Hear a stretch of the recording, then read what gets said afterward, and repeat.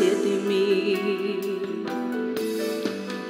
Es la quinta vez que Dios enviará al profeta Elías. Serán liberados ciento cuarenta y cuatro mil.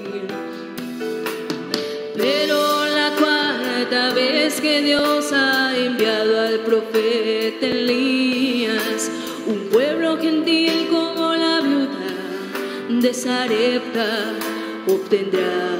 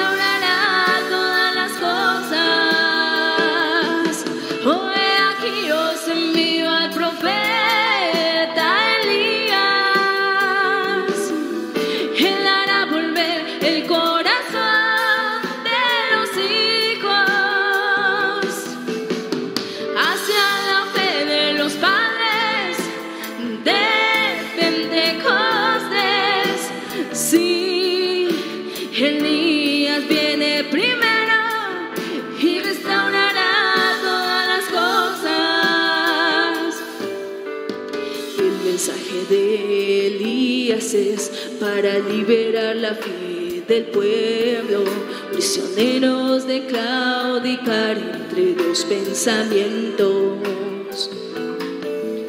sacando de escena el nicolaísmo y balamismo, y después de la gran sequía por causa de Acab y Jezabel, traer de regreso soy lluvia temprana, lluvia tardía. Y mi pueblo nunca jamás será.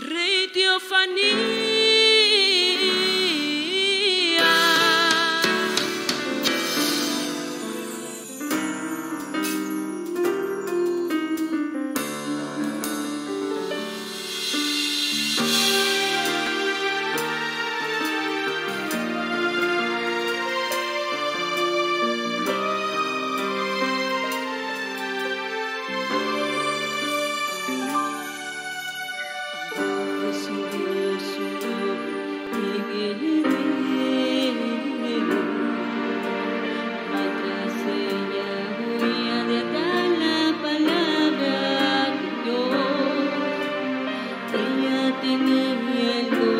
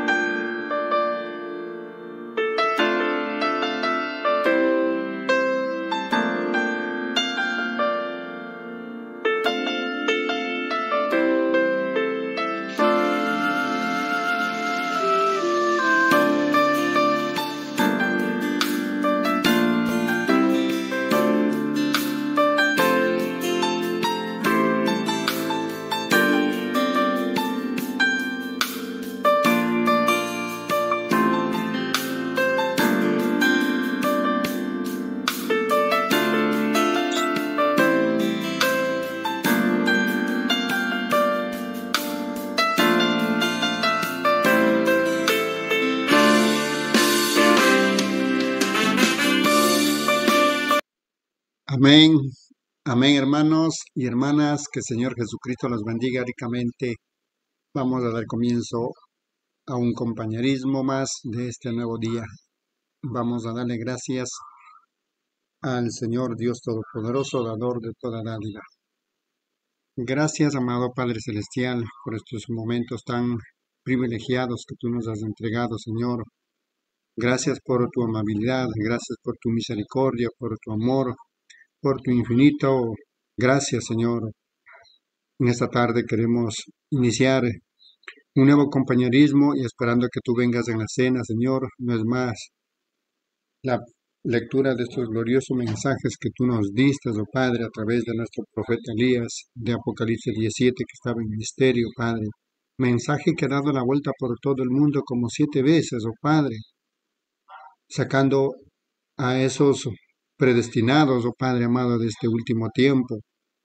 Tú dijiste en Sofonías 3.9 que en aquel tiempo devolveré yo a los pueblos pureza de labios para que todos invoquen el nombre de Jehová, para que les sirvan de común consentimiento. Esa es la razón, es el motivo, Padre, que tú nos has traído, nos has escogido, nos encontraste en el trayecto de cada uno de, de nuestras vidas, oh Padre, y nos ubicaste en en el día perfecto, en la línea perfecta, Señor, para que podamos entender lo que tú quieres tratar a través de tus mensajes, oh Padre. Iniciamos este, este compañerismo pidiendo de que tú vengas en la escena, Señor, y que nos guíes con tu Santo Espíritu, Padre. Te lo pedimos en el nombre del Señor Jesucristo. Amén, mis amados hermanos y hermanas. Que Dios le bendiga ricamente. Vamos a continuar con este glorioso mensaje titulado ¿Por qué? Mensaje predicado en Phoenix, Arizona, Estados Unidos, día 9 de marzo del año 1960. Continuamos a partir de los párrafos 36, dice, ¿por qué Dios abrió un camino? Entonces, ¿por qué no lo reciben ustedes? Ahora, ustedes como que pudieran darle como una arregladita a esta proposición de la medicina.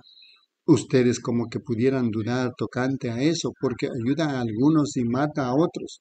No es muy exacta porque el cuerpo de cada persona no es como el de un conejillo de indias y todos somos diferentes uno del otro.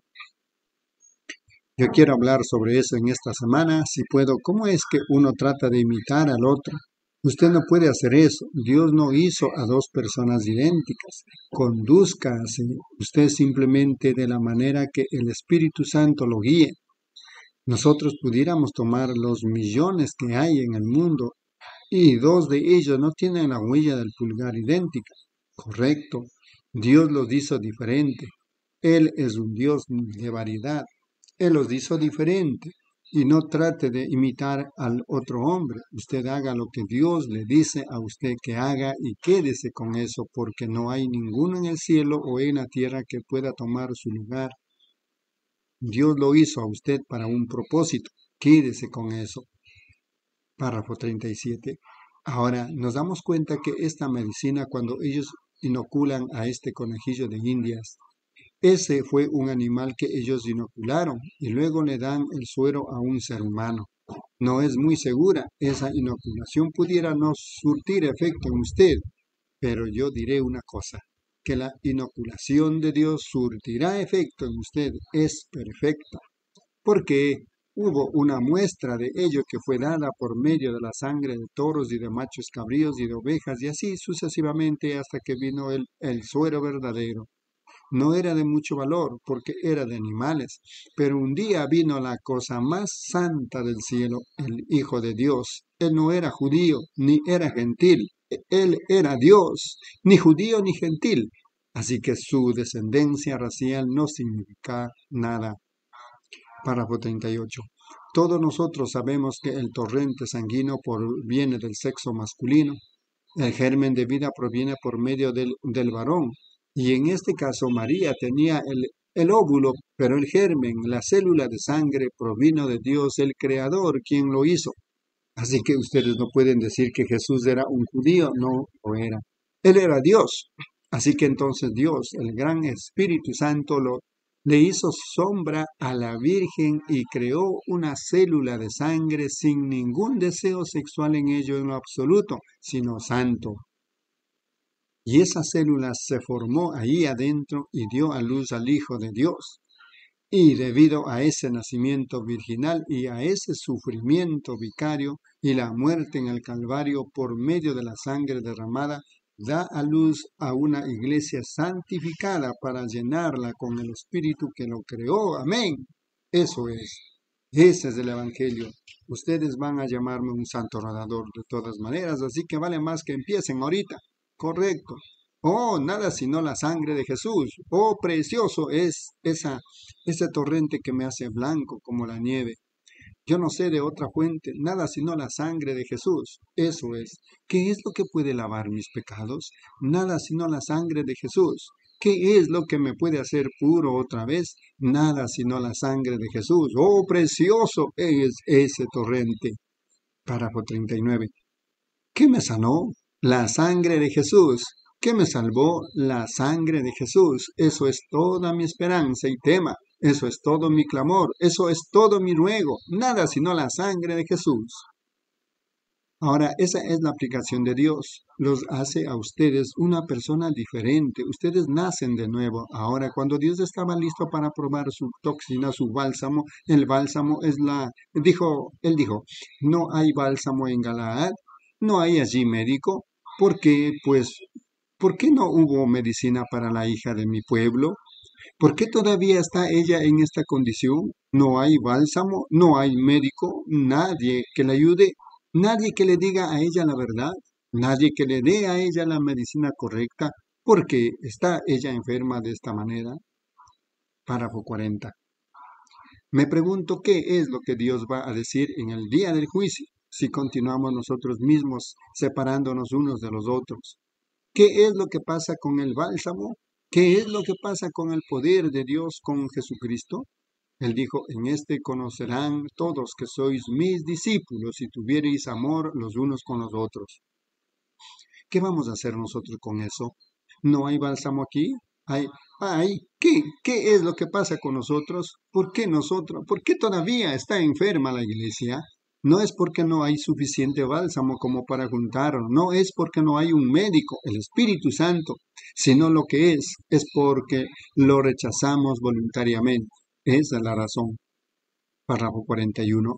Ahora, fíjense otra vez, cuando ese bálsamo estaba, bálsamo, yo le llamaré toxina, cuando esa toxina fue probada, Dios nunca se lo dio a una a un conejillo de indias. Él se la dio a su Hijo, a Jesucristo, en la ribera del Jordán.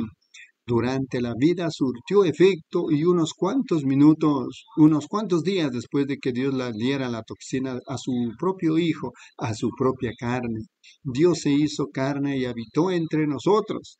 Alguna gente llama a Jesús solo un filósofo, solo un hombre ordinario, solo un profeta. Él era más que un filósofo, él era más que un profeta, él era más que un hombre, él era Dios manifestado en carne, nacido de virgen. El Espíritu Santo, el Espíritu le hizo sombra a María y dio a luz un tabernáculo, un cuerpo de un hombre quien era el Hijo de Dios, en el que Dios habitó reconciliando consigo al mundo. Él miraba como Dios, él actuaba como Dios, él hablaba como Dios, él sanaba como Dios, él era Dios hecho manifiesto en la carne. Él era más que un hombre, él era Dios manifestado en la carne. Párrafo 42. Y esa muerte trató de anclar profundo en su aguijón, en esa pequeña, esa carne allí. Él allí mismo se dio cuenta que había algo diferente en comparación a cualquier otro que él había aguijoneado. Él podía aguijonear a un profeta y moría, él aguijoneaba a un profeta y luego él aguijoneaba a otro. Pero cuando él aguijoneó allí a ese hijo de Dios, ancló su aguijón y lo sacó de él. Hoy en día la muerte no tiene ningún aguijón, porque la carne de Dios atrapó el aguijón y lo sacó de él. El diablo no supo qué, ese, que ese era él. Él todo el tiempo decía, si tú eres el Hijo de Dios, haz esto. Si tú eres el Hijo de Dios, haz esto.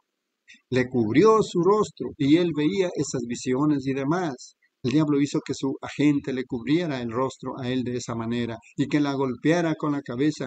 en la cabeza, perdón, y dijo, ahora si tú eres el Hijo de Dios, dinos quién te golpeó.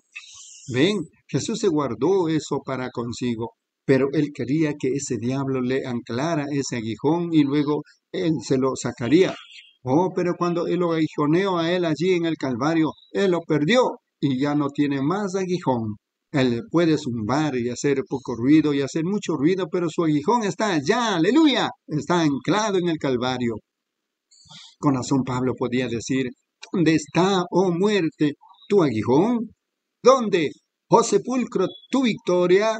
Más gracias sean dadas a Dios que nos ha dado, que nos da la victoria por medio de nuestro Señor Jesucristo. Oh hermanos, párrafo 43. Cuando Dios estaba listo para probar su toxina, Él inoculó a su propio hijo. Cuando ellos le arrancaron su puñado de barba de su rostro y mi hermano Branham hace un ruido como alguien escupiendo. En su mero rostro, Él les volvió la otra mejilla a ellos. Me pregunto si nosotros hemos sido inoculados de esa manera. Cuando el diablo lo probó a él, dijo, oye tú, eres un obrador de milagros, déjame verte sanar a este aquí, déjame verte hacer esto. ¿Qué haríamos nosotros si tuviéramos el poder? No voltearíamos y probablemente lo haríamos y diríamos, ¿ves? Te dije que yo podía hacerlo pero él estaba inoculado, surtió efecto, él hizo únicamente lo que el Padre le dijo que hiciera. Y si se nos diera tanto así de poder, me pregunto si pusiéramos nuestro, nuestros pulgares en el bolsillo de nuestro chaleco y dijéramos, miren, entiendan todos ustedes aquí, ven ustedes, ustedes tienen que venirme a mi denominación, venirse a mi denominación porque yo soy el que lo tenía. Y ven, ¿qué de él? Él estaba inoculado. ¿Qué dijo él? Yo no puedo hacer nada hasta que el Padre me lo muestre. De cierto os digo, no puede el Hijo hacer nada por sí mismo, sino lo que ve hacer al Padre, eso hace el Hijo. La inoculación surtió efecto. Párrafo 44. Cuando Él fue al Calvario, surtió efecto. Cuando Él fue a la muerte, surtió efecto. Dios probó que esa inoculación los guardaría a ustedes del pecado. No únicamente eso, sino que en la mañana de la Pascua, bendito sea el nombre del Señor, la inoculación surtió efecto. Después que él estuvo muerto por tres días y su cuerpo en el sepulcro, la inoculación surtió efecto. Él se levantó de la sepultura en la mañana de la Pascua por medio de esa inoculación. Toda la gente empezó a mirar alrededor y a decir, para mí esa inoculación me parece bien, el verdadero creyente. Así que él dijo, les diré qué vamos a hacer. Párrafo 45, por último, nos damos cuenta que había uno que venía de Emaús, dos de ellos en el camino. Un hombre salió, caminó a lo largo, habló con ellos todo el día, se sentó, actuó como que él iba a seguir el camino y él hizo algo exactamente igual a lo que había hecho antes de su crucifixión, antes de su muerte. Ellos supieron que esa era la, el Señor que había resucitado.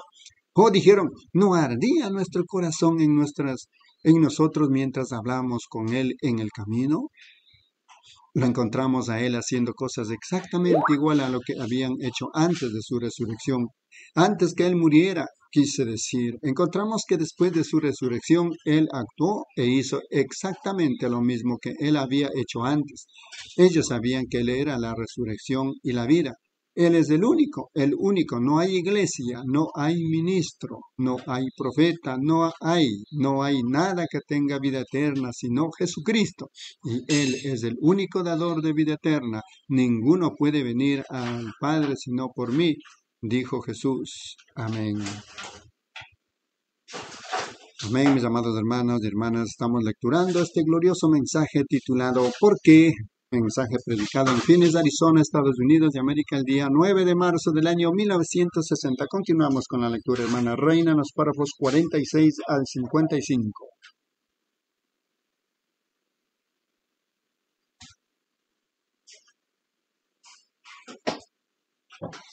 Dios les bendiga, hermanos y hermanas.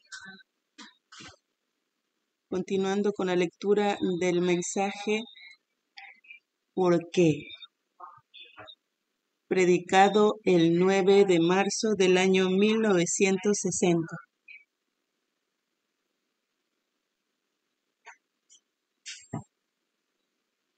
Párrafo 46.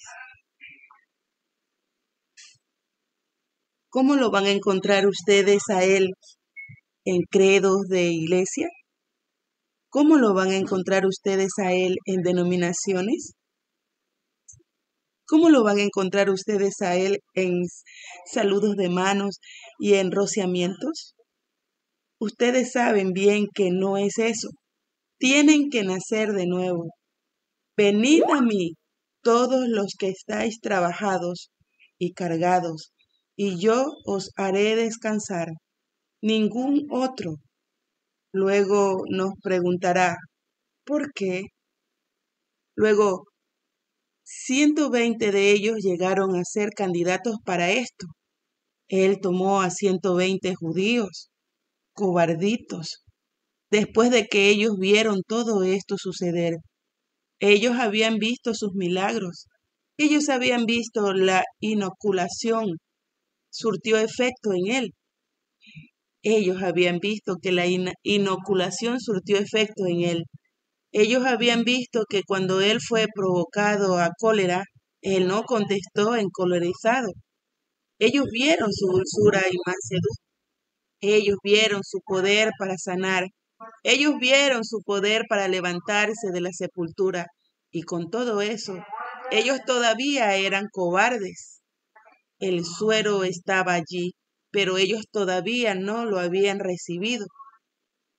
Ellos subieron al piso de arriba y se encerraron ellos mismos en un cuarto con una vieja candela, una lámpara de aceite ardiendo allí por diez días y noches, esperando que llegara el doctor. Oh, de repente ellos oyeron el sonido como de un viento recio que soplaba. Aquí vino la inoculación. Él inoculó a 120. Hermano, ellos entraron casi en un paróximo cuando Él los inoculó. Bueno, salieron con toda clase de alboroto. Ellos brincaron y danzaron y hablaron en lenguas y corrieron por las calles, pero ellos estaban inoculados. Eso es a lo que ellos le tienen miedo. Ustedes le tienen miedo al suero los hará a ustedes actuar raros. Pero, oh hermanos, qué sentir, qué seguridad le da a uno cuando uno está inoculado. El que no naciere de nuevo no puede aún ver el reino de Dios. 47. Muchos no lo entienden. Ustedes piensan que la gente está loca hasta que en alguna ocasión ustedes entran en ello. ¿Han visto ustedes alguna vez a un hombre borracho con opio? Bueno, él puede tomar el opio, fumar una pipa de opio, y a mí no me interesa cuán enfermo esté él o lo que sea al respecto. Todo el mundo entero sencillamente es de él. Eso es todo. Ahora, eso es del mundo, el opio del doctor. Pero Dios tiene un opio ¿Dónde obtienen ustedes el opio? Del lirio. Él era el lirio de los valles, y en el Calvario ellos sacaron el opio de él, machacándolo. Ustedes ahora pueden obtener una inoculación en la que cada día está soleado. Amén. Oh, estos no están ebrios con mosto, ellos no están ebrios con bebidas fuertes, sino que ellos están ebrios con este nuevo vino, el poder de Dios. El Espíritu Santo se derramó sobre ellos desde lo alto. Esa es la manera. Ustedes dicen, pero hermano Branham, eso fue para esa gente allá. Oh, no, no, no. La gente de allá dijo, varones hermanos, ¿cómo nos inoculamos? Ahora, ellos tenían a un doctor en el grupo. ¿Sabían ustedes eso? El doctor Simón Pedro. Sí, señor. Oh, él dijo, hay suficiente bálsamo aquí. Yo soy el médico en estos momentos. Denme su prescripción. ¿Qué debemos hacer para ser salvos? Él dijo, arrepentíos y bautícese cada uno de vosotros en el nombre de Jesucristo para perdón de los pecados y recibiréis el don del Espíritu Santo. Porque la promesa, la prescripción, es buena para vosotros y para vuestros hijos y para todos los que están lejos, para cuantos el Señor nuestro Dios llamare para ser inoculados. 48. Yo probé su prescripción. Ustedes pueden probar su prescripción. arrepiéntanse y bautícense. Crean en el Señor Jesucristo y vean si el Espíritu Santo no entra en ustedes. ¿Cuánto durará esta prescripción? Nunca vayan ustedes a escribir ninguna teoría de algún hombre. Si lo hacen, ustedes van a meterse en problemas. Ustedes todavía estarán en pecado. Pero tomen ustedes la teoría de él, la prescripción de él, la promesa. Ahora, ellos dicen, oh, esa prescripción vieja fue para un tiempo muy allá en el pasado. Oh, no. El doctor Simón Pedro, el médico de Jesús que él envió, él le dijo, yo te doy las llaves del reino, yo te daré el, yo te daré el recipiente en el que lo revuelvas. Y solo mezcla un poquito de arrepentimiento y el bautismo en agua y todas estas cosas y mézclalos todos juntos y date cuenta. Toma una grande dosis de ello y date cuenta lo que resulta. 49. Oh, hermanos, cuando menos piensan, hablan ustedes tocante al vino nuevo. Cuando ustedes beben eso, algo les va a suceder a ustedes. Oh, ellos estaban, ellos salieron a todas partes predicando, el Señor obrando en ellos, confirmando las palabras con las señales siguiendo. Oh, cuán glorioso es saber Dios va a preguntar en el día del juicio, ¿por qué no te tomaste la prescripción? Está escrita aquí en la Biblia, aquí está la respuesta, aquí está el Espíritu Santo. Él, usted va a decir, bueno, Señor, yo pensé que era solo mi médico les dijo que era para vosotros y para vuestros hijos y para todos los que están lejos, para cuantos se enfermaran. Para cuantos se enfermaran, el bálsamo sanador es para ellos. Hay un bálsamo en Galaad para el alma enferma de pecado. Párrafo 50. Escuchen amigos, estamos esparcidos. Ustedes se unirán a las asambleas, luego se unirán a los unitarios y luego ustedes se unirán a la iglesia de Dios Luego ustedes se irán a los independientes, luego a los metodistas, regresarán a los bautistas, luego regresarán de nuevo a donde empezaron y siguen y siguen y siguen llevando su carta. Olvídenla. La cosa que ustedes necesitan es una inoculación. Entonces no importa en qué iglesia estén ustedes, ustedes están inoculados. Ustedes han nacido en la iglesia del Dios viviente. Los pentecostales tienen a muchos que se alimentan de carroña. Eso es exactamente correcto. Todos ellos los tienen. Jesús tuvo uno entre los doce, así que a nosotros no nos va a ir tan bien como a él le fue, estoy seguro. Nosotros seguro que tenemos imitadores, actores tratando de actuar algo que no tienen, pero a la vez hay algunos que lo tienen, correcto. Si ustedes ven un dólar falso, muestra que fue hecho del verdadero.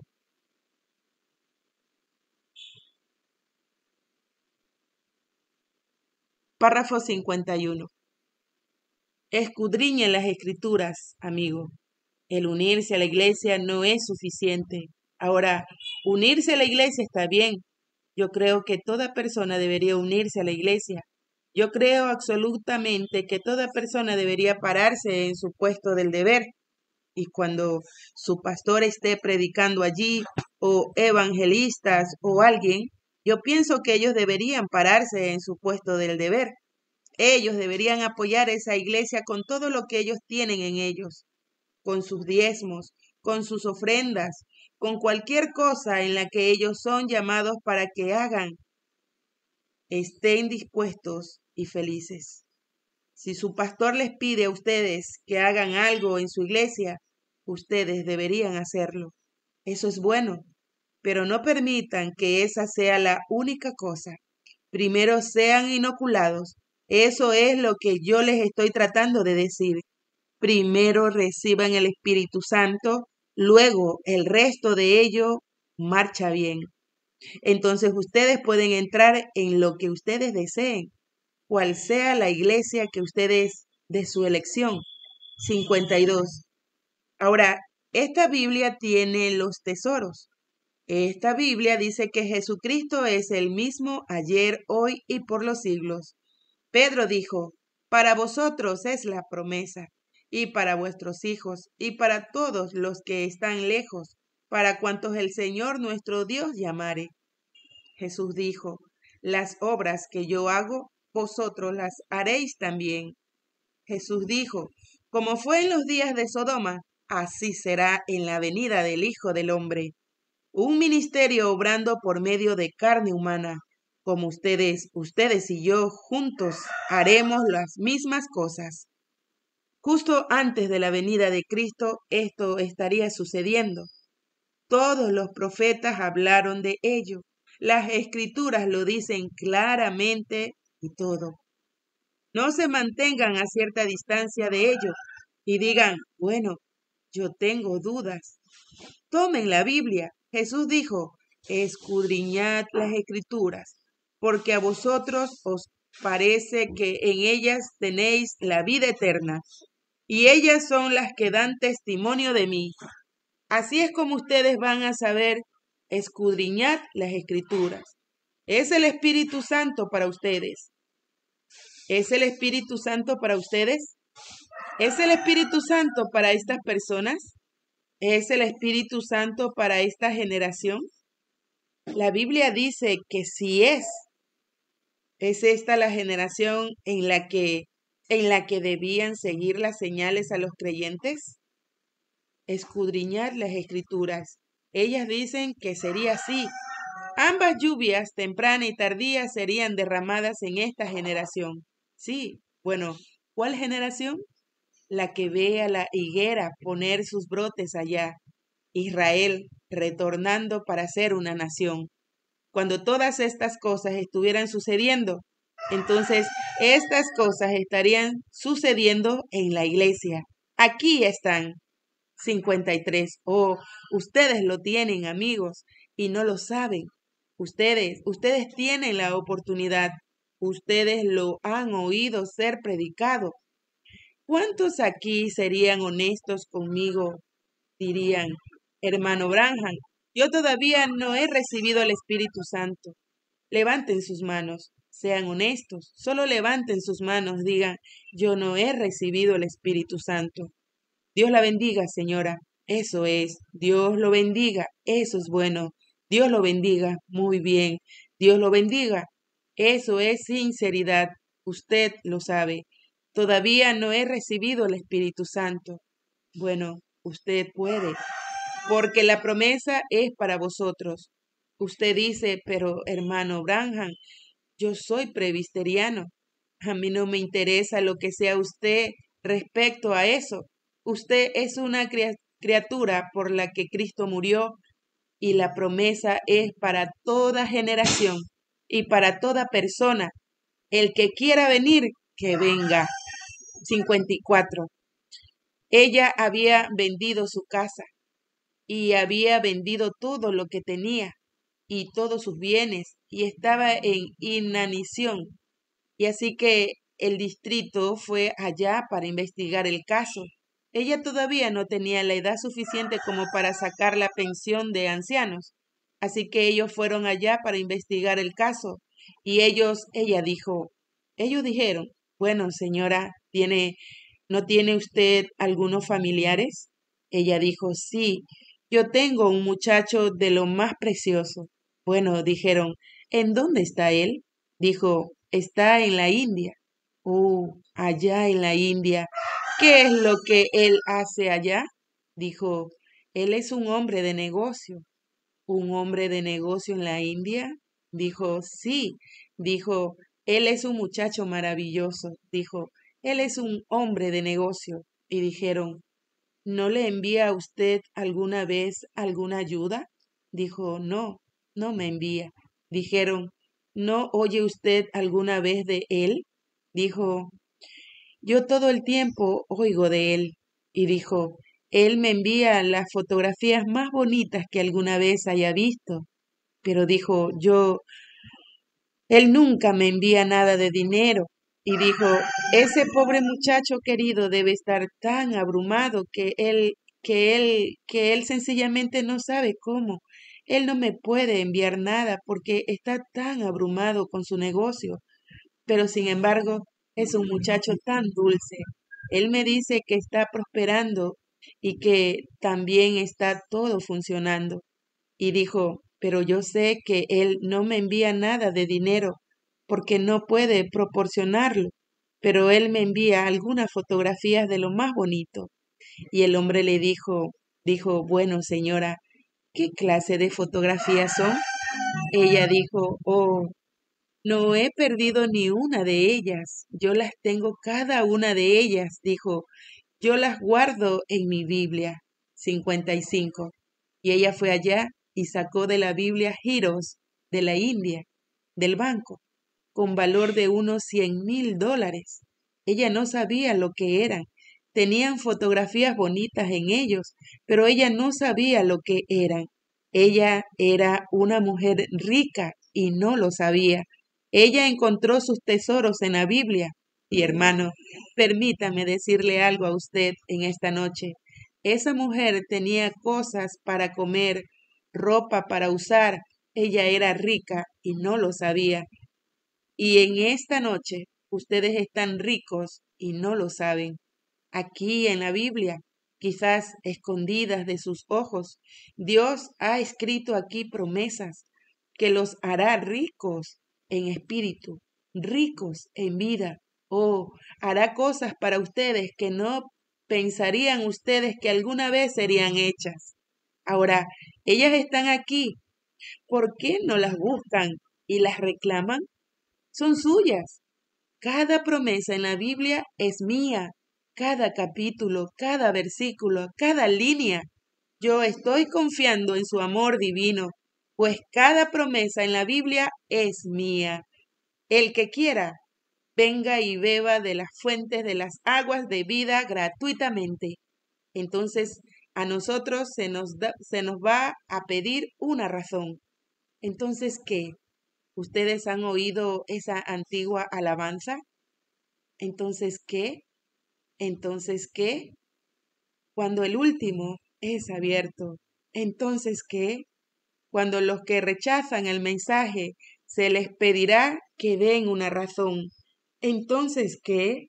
Amén. Dios le bendiga, mis hermanos y hermanas. Amén, hermana Reina. Dios le bendiga. Continuamos con la lectura de este glorioso mensaje titulado ¿Por qué? Mensaje predicado en Fines de Arizona, Estados Unidos, el día 9 de marzo del año 1960. Continuamos con la lectura, hermana Edith. Dios le bendiga en los párrafos 56 al 64. Dios le bendiga, hermanos y hermanas. Continuamos con la lectura del mensaje ¿Por qué? Párrafo 56. Algún día la trompeta sonará por su última vez. La Biblia quedará cerrada en el púlpito. El imitador hará su último acto. El sol estará ocultándose en el oeste y las armas serán puestas en el pabellón de fusil por la última vez. Y luego se nos pedirá que demos una razón de lo que hemos hecho con estos tesoros que han sido enviados a nosotros. Es un libro de tesoros. Inclinemos nuestros rostros mientras pensamos sobre ello. 57. Nuestro Padre Celestial, las riquezas de Dios son enviadas a nosotros por medio de una carta, un mensaje de la Biblia, que el Espíritu Santo fue ordenado de Dios, nuestro Padre, por medio de la sangre de su Hijo, Jesús, para traernos este mensaje. Él es un verdadero testigo de Cristo, pues está escrito, cuando venga el Espíritu Santo, Él os recordará estas cosas, de que aquí adentro les recordará, ustedes tienen tesoros y riquezas indecibles en las páginas de este libro.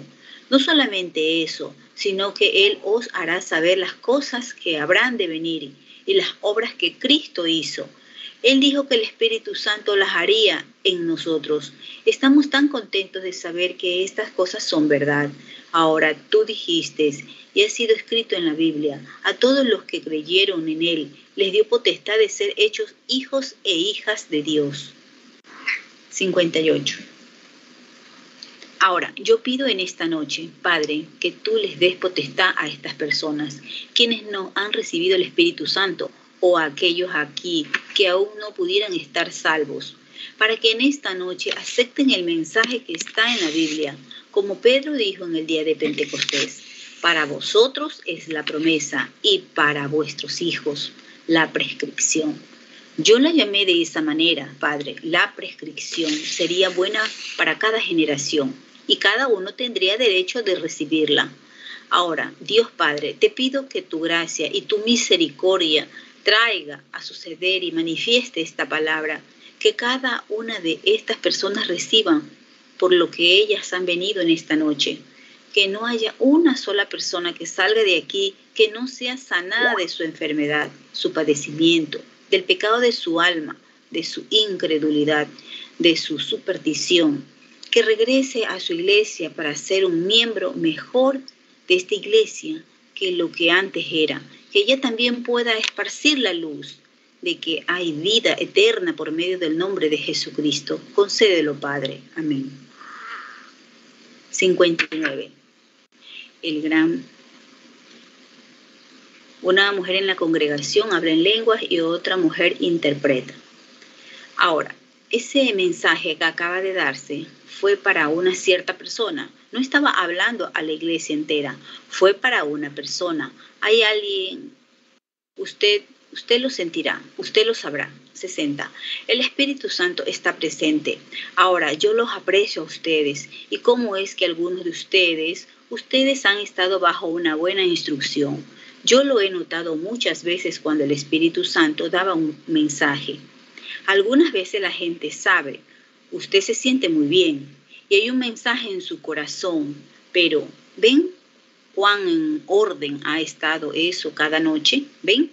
Ellos nunca interrumpen el mensaje, porque si el mensaje en la plataforma está ungiendo, que ellos entonces guarden su paz.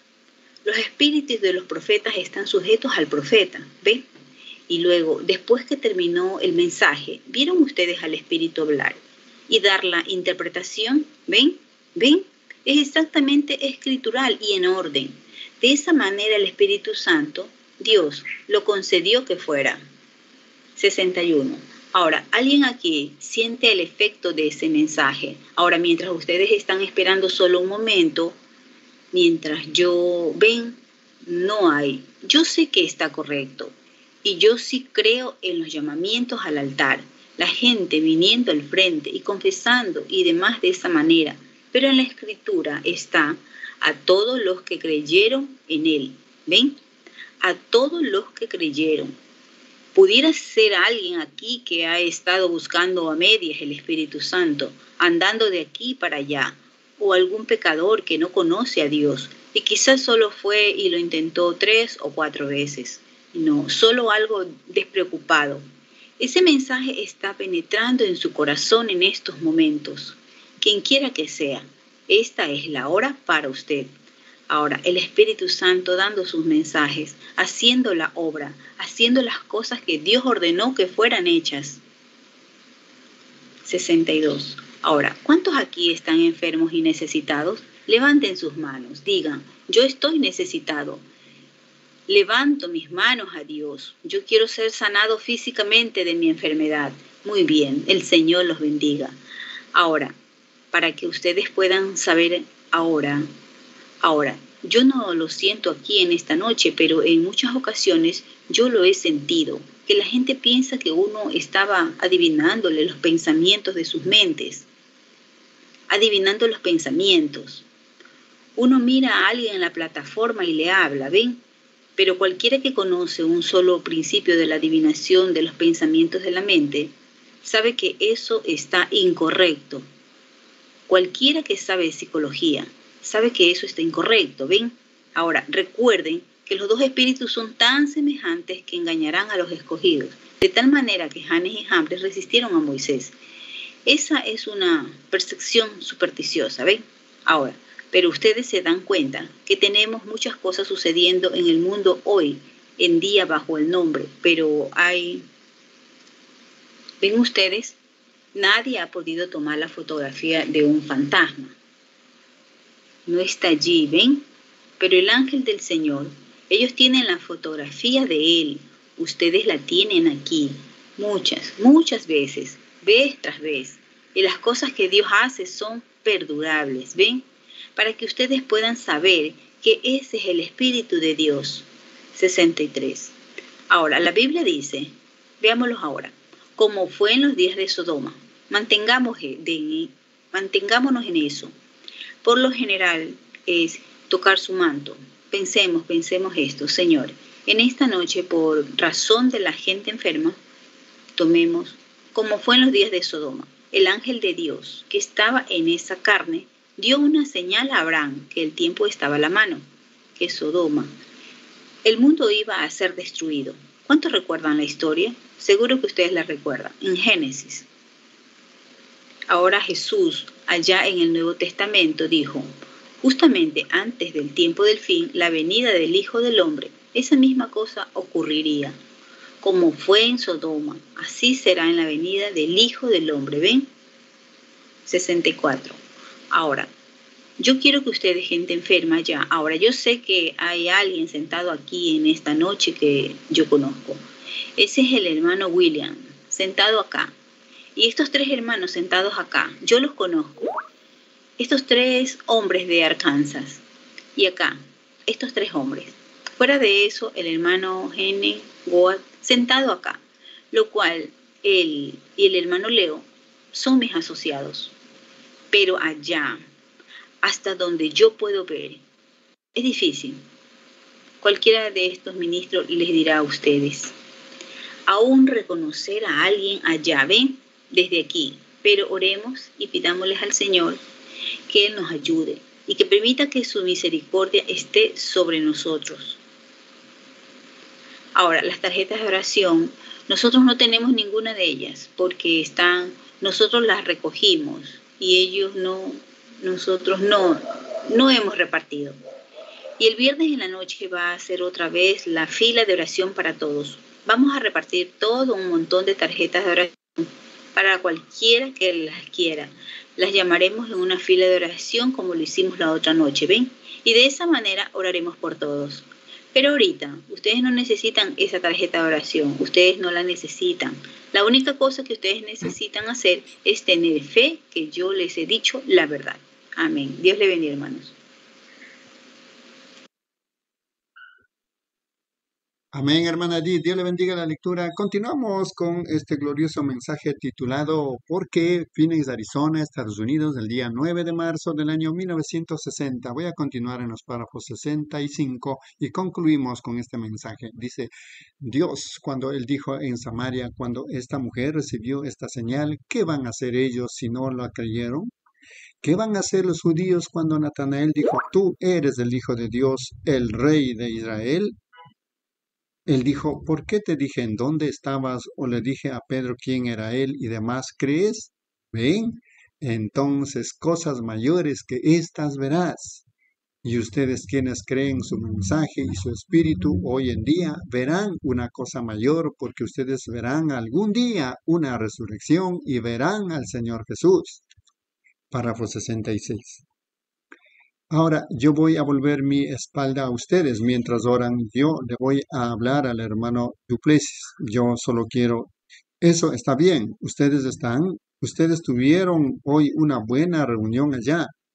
Mire el hermano Misianali sentado allá atrás, un antiguo amigo. Ay, yo soy... A ustedes ministros, yo quiero decirles en estos momentos, ustedes observen. Alguien en esta audiencia se está poniendo en contacto con el Espíritu Santo detrás de mí, aquí atrás, porque ustedes sepan. Ahora, yo quiero que toda persona enferma esté orando. Cada uno de ustedes que está enfermo, orando. Ahora yo puedo, yo siento en mi propia hechura que al Espíritu Santo alguien lo está tocando. Sí, ahora hay muchos de ellos.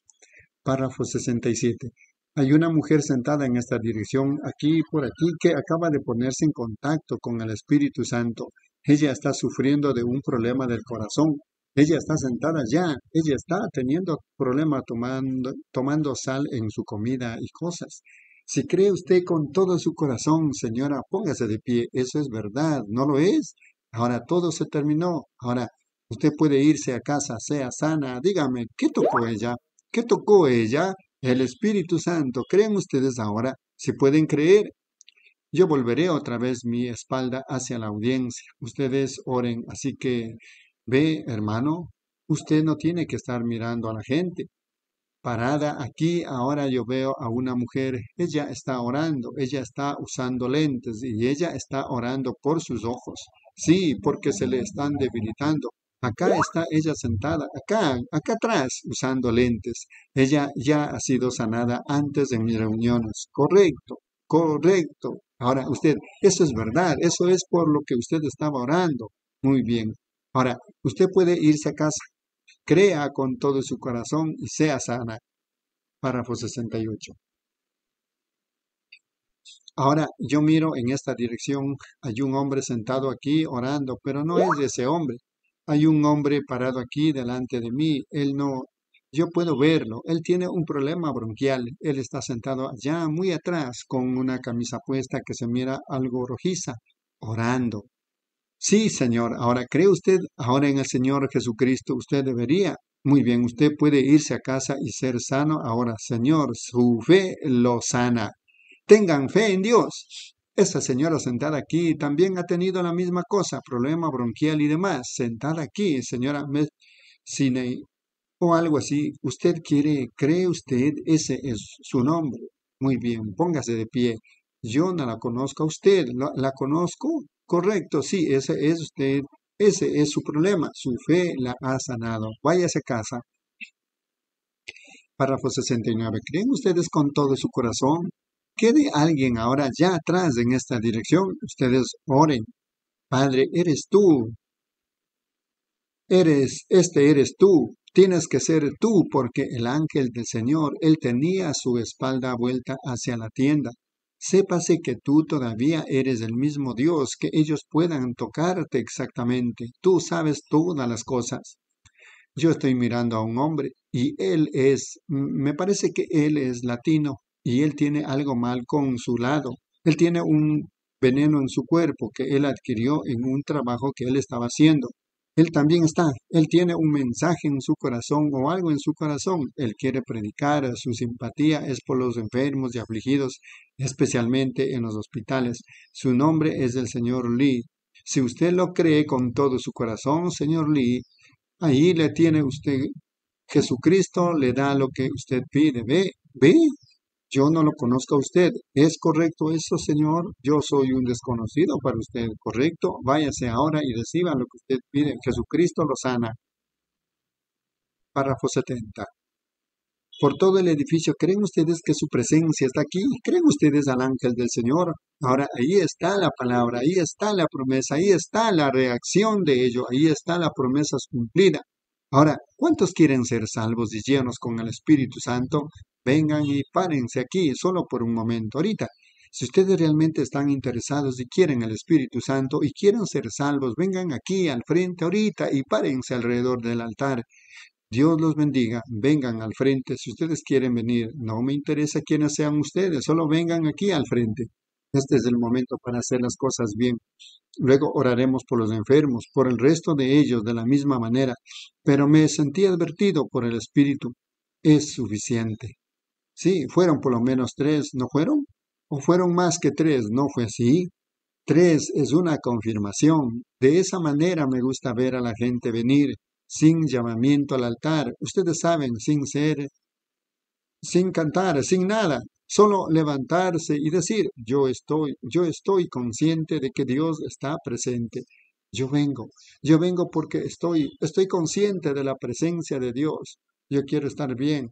A mí, a mí, a mí se me va a pedir una razón algún día y yo vengo ahora a confesar mi fe en Dios y creo que yo lo voy a recibir en estos momentos. Párrafo 71. No duden, no tengan una sola duda ahorita.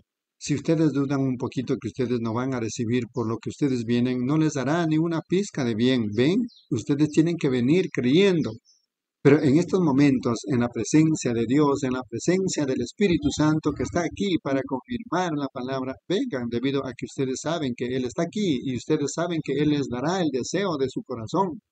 Esa es la razón por la cual Él está aquí, para darles el deseo de su corazón. Vendrán ustedes, eso es bueno, eso está bien, correcto. Yo voy a esperar un momento más para ver lo que el Espíritu Santo hará, todo lo que Él llamará. Ven, me parece, amigo, que si usted tuviera, estuviera aquí con una pizca de duda. Ahora recuerden, yo voy a mirarlos a ustedes y ustedes me van a mirar a mí un día por última vez. Y la siguiente vez que ustedes me vean, yo y yo los vea a ustedes, será en la presencia de Dios. Entonces nunca habrá otra oportunidad. Ustedes únicamente tienen una esta es, y si ustedes tienen una pizca de duda acerca de su experiencia, o si ustedes no son cristianos en lo absoluto, o ustedes están dudando su experiencia porque no vienen ahorita, ven, si el enemigo, como anoche hablé, las muchas voces, si el enemigo está tratando de decir, tú estás muy cansado, o yo no lo recibiré, díganle que él es un mentiroso, díganle que ustedes lo van a recibir en esta noche, y yo vengo, yo voy a yo voy a estar determinado a recibirlo en esta noche. Esa es la manera de hacerlo. Párrafo 72. Ahora, ¿cuántos ministros del Evangelio completo están aquí? ¿O un presbiteriano o un bautista o lo que usted sea que crea que la gente puede recibir el bautismo del Espíritu Santo hoy en día, igual que ellos lo recibieron allá y que la prescripción es para ellos? Levanten su mano. Ministros, yo sé que ustedes están interesados en almas. Vengan y párense por aquí con ellos ahorita para que ustedes puedan ayudar a poner manos sobre ellos. Vengan al frente, párense aquí y pongan manos sobre ellos. Eso es bueno. Ahora, ¿qué les dije? ¿No hay bálsamo en Galaad? Seguro que sí. ¿No hay médico allí? Miren a los médicos viniendo estos médicos de la palabra. Ellos ciertamente lo creen. Mírenlos, ¿no es eso maravilloso? Miren a los ministros aquí en este grupito de gente de 300 o 400 personas aquí en esta noche. Miren a los ministros, 20, 30, 40 ministros parados aquí, ministros quienes lo creen. Ahora, ustedes, ustedes doctores de las escrituras, eh, ¿prescriben ustedes la prescripción que fue dada en el día de Pentecostés? ¿Prescriben ustedes eso? Seguro que sí, es una doble cura, doble cura. Roca de la eternidad, ábrete para mí, vengan aquí al frente, déjenme esconderme en ti, hermano Branham Tarato. Del pecado sé la doble cura, el hermano Branham Tararea. En cuanto rostros inclinados, con rostros, con nuestros rostros inclinados ahora solemnemente, de la eternidad, ábrete para mí. Párrafo 73. Oh, en la hora de su muerte, en la hora de su muerte, cómo anhelo a oír eso que el agua y la sangre suplan de tus heridas que fluyen del pecado. Sé la doble cura. Sálvame de la ira y hazme puro.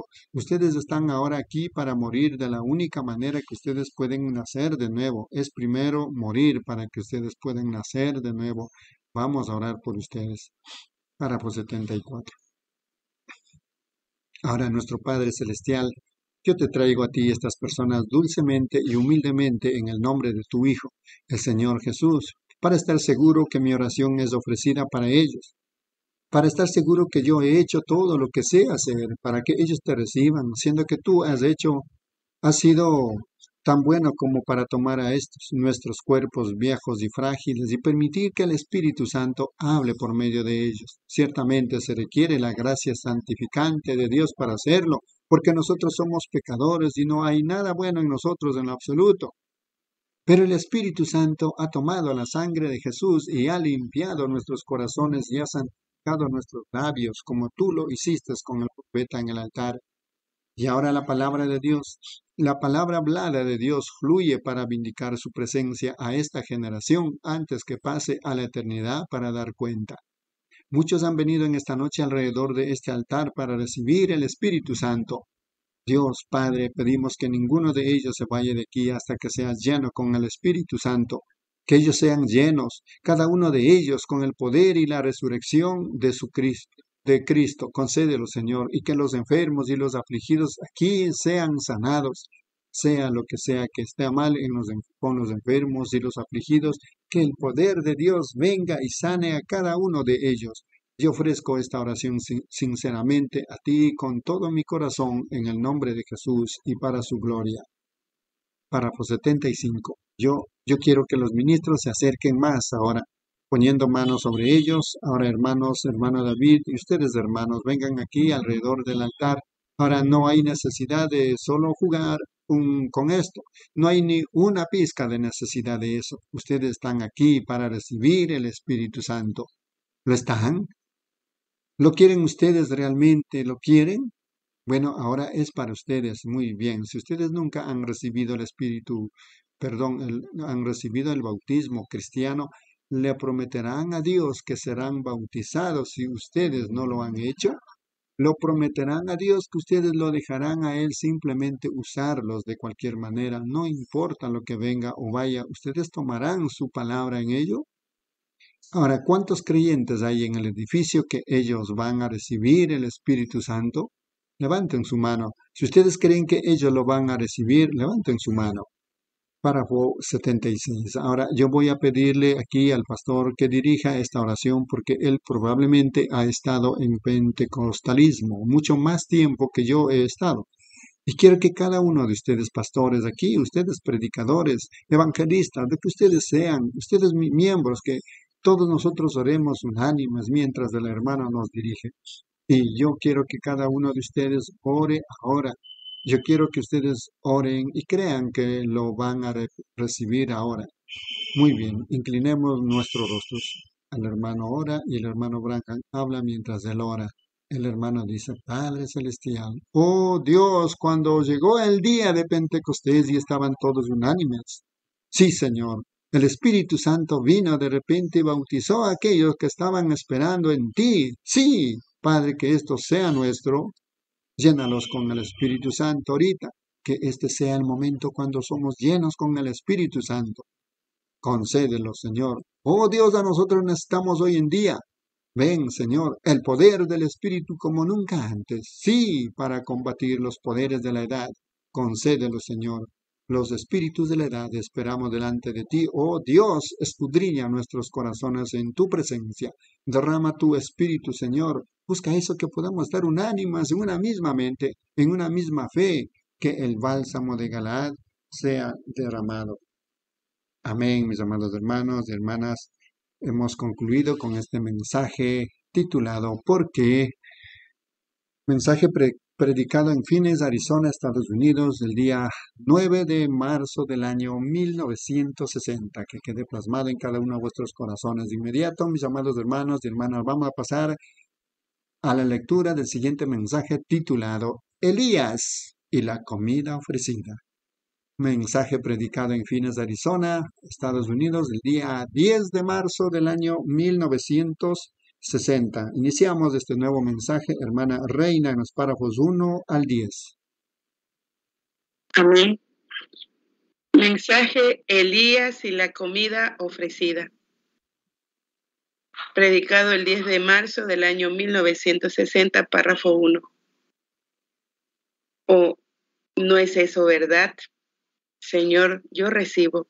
¿Recibo qué?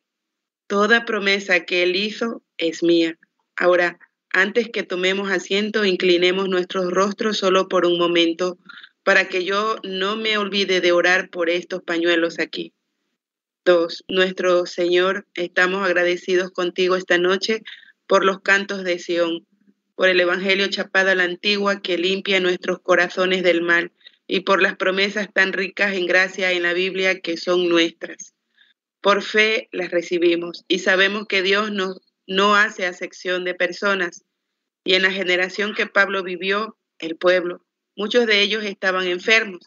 Ellos le traían a él pañuelos, delantales, para que él los pusiera sobre su cuerpo, y luego tomarlos de su cuerpo y ponerlos sobre los enfermos y afligidos. Y las escrituras nos dicen que espíritus inmundos salían de la gente y las aflicciones los dejaban debido a la fe de ellos en el Señor Jesús. Dios. Pablo partió hace casi dos mil años para estar en tu presencia. Esta generación partió con Él, pero tú eres Dios de toda generación. Ahora, el pueblo en esta noche ha creído en ti y estamos encomendando a ti esta noche estos pañuelos y pedacitos de tela y creyendo con todo nuestro corazón que tú responderás a nuestra oración y ellos serán sanados. Concédelo, Señor.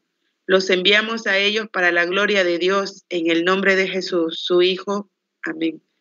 Tres, pueden sentarse. Y los que los supieron, pusieron aquí arriba, pueden venir a recogerlos inmediatamente después que este servicio termine. Estoy tan contento esta noche. Hoy estuve allá afuera, al otro lado de la montaña. Tan pronto que hubo terminado con las entrevistas que tenía que tener y fui allá a orar. Y cada vez que yo entro en este sol del desierto, parece que me hace querer volver más. Pero una cosa por la que estoy contento esta noche, mi esposa por el tiempo que hemos estado juntos. Ella ha visto las grandes visiones de Dios manifestadas y cumplirse. Ella estaba allá en el río aquel día en Jeffersonville cuando el ángel del Señor hizo su primera aparición. Fue publicada en la prensa asociada por toda la nación. Ha sido, fue en 1933. Ella estaba parada allí, ella oyó la voz, pero no vio la luz donde aún los fotógrafos del periódico vieron la luz, pero ella estaba muy joven en ese entonces y tenía como 12 años y ella nunca vio la luz. Ella estaba mirando a la gente, muchos se estaban desmayando y solamente se quedó allí como por un minuto y luego se regresó directamente a los cielos otra vez. Y los periódicos pusieron un gran artículo. Luz mística aparece sobre, sobre un ministro bautista local mientras bautizaba. Se fue directamente hasta Canadá, salió en la prensa canadiense. Cuatro.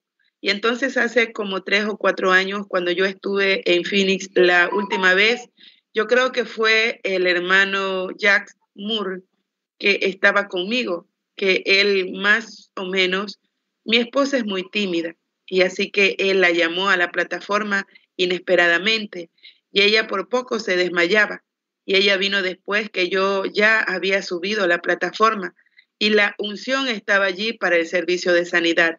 Y ella dijo que era la primera vez que ella había estado en esa presencia así. Y anteanoche ella lo vio a él en la plataforma, la primera vez que ella lo ha visto, cuando estaba aquí parado en la plataforma. Y cuando nos vimos afuera, ella estaba tenía lágrimas en sus ojos y ella dijo, Billy, por primera vez en mi vida lo vi. Ella dijo, yo, tú estabas orando por una mujer y dijo, yo lo vi que vino directamente delante de ella y se paró allí solamente unos cuantos momentos. Se movió hacia donde tú estabas y luego tan pronto como tú dejaste de hablar, desapareció. Así que yo estoy contento por eso, que él vino ante sus ojos. ¿Ven? esa damita tiene que pasar por mucho y así que yo estoy contento y feliz por ello. Cinco. Ahora, mañana en la noche es servicio de sanidad. Como ustedes saben, nosotros hemos estado diciendo esta semana que los servicios de sanidad vendrían el miércoles en la noche. Ahora, vengan mañana en la tarde o temprano en la tarde, como a las seis, para que ustedes no interrumpan el resto del servicio y Billy, Leo, Jane y ellos estarán aquí con las tarjetas de oración para darles su tarjeta de oración. Eso es cuando traemos a la gente a la plataforma y oramos por ella. Ahora estamos, yo estoy, yo tengo que llevar a cabo las reuniones americanas de la manera que la gente ha sido enseñada, imponiéndole las manos. Ahora, eso, eso es escritural, pero eso es una tradición judía. Eso no es para los gentiles pero los gentiles la llevaron a cabo. Los gentiles eran, yo no soy digno que tú vengas bajo mi techo, solo di la palabra y mi criado vivirá. Eso es correcto. Pero el judío era, ven, pon tus manos sobre mi hija y ella vivirá. ¿Ven? Esa era su tradición, no era para los gentiles. Seis. Noche tras noche y hora tras hora durante el día y la noche, el Espíritu Santo viene revelando yendo, yendo por el edificio, hablando los secretos de los corazones, Ustedes lo ven todo el tiempo. Eso es para darles a saber que la presencia del Señor está aquí. Ahora, si ustedes solo lo la aceptaran, ustedes serían sanados allí mismo, porque toda la sanidad que fue hecha para ustedes ya está concluida. Ha estado por 1900 años. Toda la salvación que alguna vez vayan a recibir ya ha sido pagado por ella. Es suya solamente con recibirla. Ha estado pagada por 1900 años o más desde que llegó a ser salvación para ustedes. Pero ahora ustedes se dieron cuenta que en las reuniones yo digo, ¿los hará esto creer? ¿Ven? Señales y maravillas no son para sanidad o salvación, pero es para permitir que la gente se dé cuenta y entienda que la presencia de Dios está aquí. Entonces, Él es, sí, ¿cómo sería? Es, es más que un milagro. Nosotros simplemente ahora apenas empezamos a ver milagros. Siete. Ahora, cuando se trata de una persona, han habido varias de ellas que se han levantado de las camillas y sillas de ruedas y cosas y se van. Eso no es exactamente un milagro, no, ven, aún la ciencia cristiana tiene eso. Eso pudiera ser una, una condición mental que usted pudiera estar, cambiar su manera de pensar. Ahora, no creemos que era eso, porque yo creo que era fe, pero todavía ocho. Yo estuve en Alsace-Loire, Francia. Yo estuve en París. Yo fui a un lugar en donde ellos tenían a una mujer muerta que yacía allí. Ella estaba sepultada y ellos frotaban una roca allí y la gente entraba allí con lisiados, muletas y los tendían allí y salían caminando por haber frotado la roca sobre esa mujer muerta. Y ella estaba muerta y ella podía interceder tanto como solo hay un mediador entre Dios y el hombre, y ese es Cristo Jesús. ¿Ven? Habiendo salido de una familia católica, yo, yo sé que ellos creen en, en las personas que mueren, que ese es, que sus espíritus están intercediendo por ellos, diferentes, algunos por políticos y algunos por otras cosas. Para mí es espiritismo. Yo espero no estar hiriendo sus sentimientos, pero yo debo ser sincero, ¿ven? Cualquier cosa que intercede por medio de los muertos es espiritismo. Nueve. Me preguntaron eso en México y me dijeron, ¿qué acerca de Jesús? Yo dije, Él no está muerto, Él se levantó, Él está vivo por los siglos de los siglos, ¿ven? Él no está muerto, Él está viviendo. El resto de ellos han pasado al más allá, lo cual la escritura dice que los que están allá no pueden venir aquí y estos que están aquí no pueden ir allá. Ningún hombre ha cruzado o nunca lo hará. Así que eso lo concluye si el Jesús así lo dijo. Pero nos damos cuenta que estas cosas están operando. Así que ahora cada noche el Espíritu Santo está intentando traerles a ustedes aquí la presencia de su ser, no la presencia de un hombre. Un hombre solo puede humillarse él mismo por medio de un don. Él puede someterse dentro de una cierta esfera del Espíritu que puede abrirle a Dios a ustedes, pero nunca funcionará hasta que ustedes lo crean y lo acepten. Entonces funcionará. ¿Ven? Si ustedes se sentaran allí y todos ustedes, todos ustedes estuvieran descreyendo, sin creer una palabra de ello, nunca funcionará. Jesús, cuando fue a los suyos, a su propia región, él no pudo hacer muchas obras poderosas debido a la incredulidad de ellos. Y si él no las pudo hacer en ese entonces, él no las puede hacer ahora debido a la incredulidad. ¿Ven? Es su fe. Así que se requiere el Espíritu Santo. Ustedes y yo juntos para traer a cumplimiento estas cosas que permiten regocijarme, que le permiten a ustedes regocijarse de que Dios está aquí, que cumple su palabra. Párrafo 10.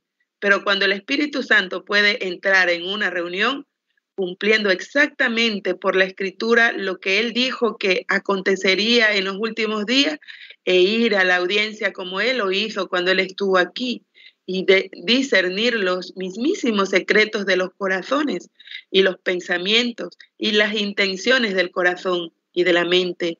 ¿Cómo pudiera alguien dudar? ¿Ven?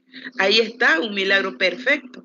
mayor que el de un milagro de un lisiado pudiendo caminar, porque es imposible que eso suceda sin un poder espiritual. Tiene que ser un poder espiritual para hacer eso. Así que, y entonces ustedes ven exactamente lo que la Biblia prometió y lo que ellos, lo que nosotros creemos. Es más milagro que gritar. ¿Ven? Es más milagro que hablar en lenguas. Pablo así lo dijo. Aún de los dones genuinos del Espíritu Santo de hablar en lenguas, es un milagro mayor que ese. Nosotros estamos en el último milagro. Es predicho de esa manera por la Biblia. Amén. Dios le bendiga, hermanos y hermanas. Amén, hermana Reina. Dios le bendiga la lectura. Hemos iniciado recordando Elías y la comida ofrecida. Mensaje predicado en Fines de Arizona, Estados Unidos, el día 10 de marzo del año 1960. Continuamos con la lectura hermana Edí en los párrafos 11 al 20.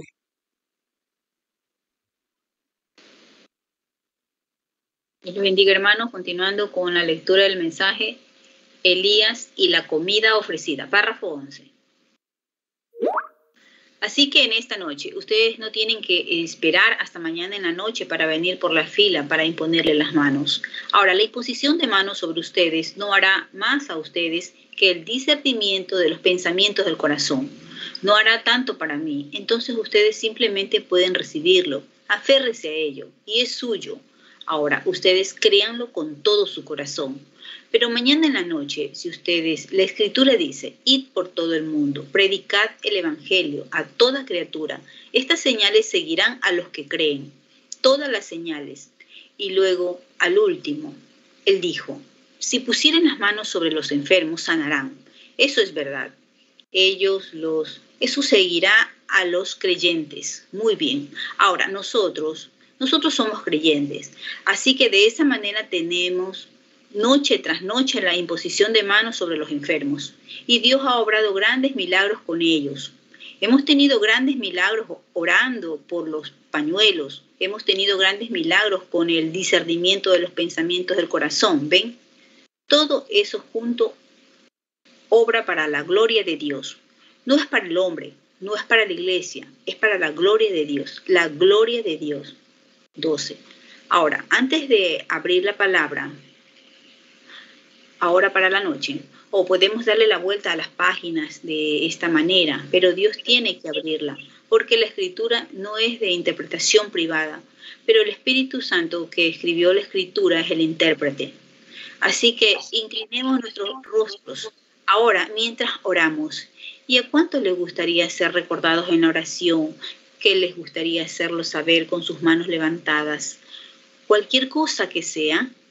Oh Dios, mira, todos nosotros estamos necesitados. ¿No es así? Yo también estoy necesitado, amigos. Yo tengo mis manos levantadas. 13. Padre Celestial, humildemente y quietamente y reverentemente venimos a tu gran augusta presencia, sabiendo que antes de que alguna cosa acontezca, tú estás aquí porque tú prometiste estar. Tú dijiste, antes de que tú te fueras, donde quiera que están dos o tres congregados en mi nombre, allí estaré en medio de ellos. Y si ellos se pusieren de acuerdo en una sola cosa, acerca de alguna cosa, y pidieren ellos, recibirán. Señor, para traer tu promesa a esto, la compra de tu sangre. Yo pido que todo hombre, mujer o niño que levantaron sus manos esta noche, tú conoces sus corazones, que ellos reciban lo que están pidiendo concédelo, Señor. Somos un pueblo necesitado. Estamos andando en un mundo oscuro, con un gran enemigo tuyo que nosotros no pudiéramos combatir contra él en lo absoluto si no fuera por el Espíritu Santo. Por lo tanto, estamos confiando, creyendo y actuando en fe que Él irá delante de nosotros y limpiará el camino. Hay tantos peligros en el camino puestos para nuestros pies fatigados pero estamos tratando de seguir las huellas sangrientas de Él quien venció la muerte, el infierno y la sepultura. Guíanos en esta noche por medio de tu Espíritu Santo, Señor, a las palabras que debieran ser dichas. Entonces dirige las palabras al corazón que está necesitado de ellas. Entonces, Señor, que al fin de la reunión, al marcharnos a nuestros diferentes hogares, que nosotros podamos decir otra vez, como aquellos que vinieron de Emaús.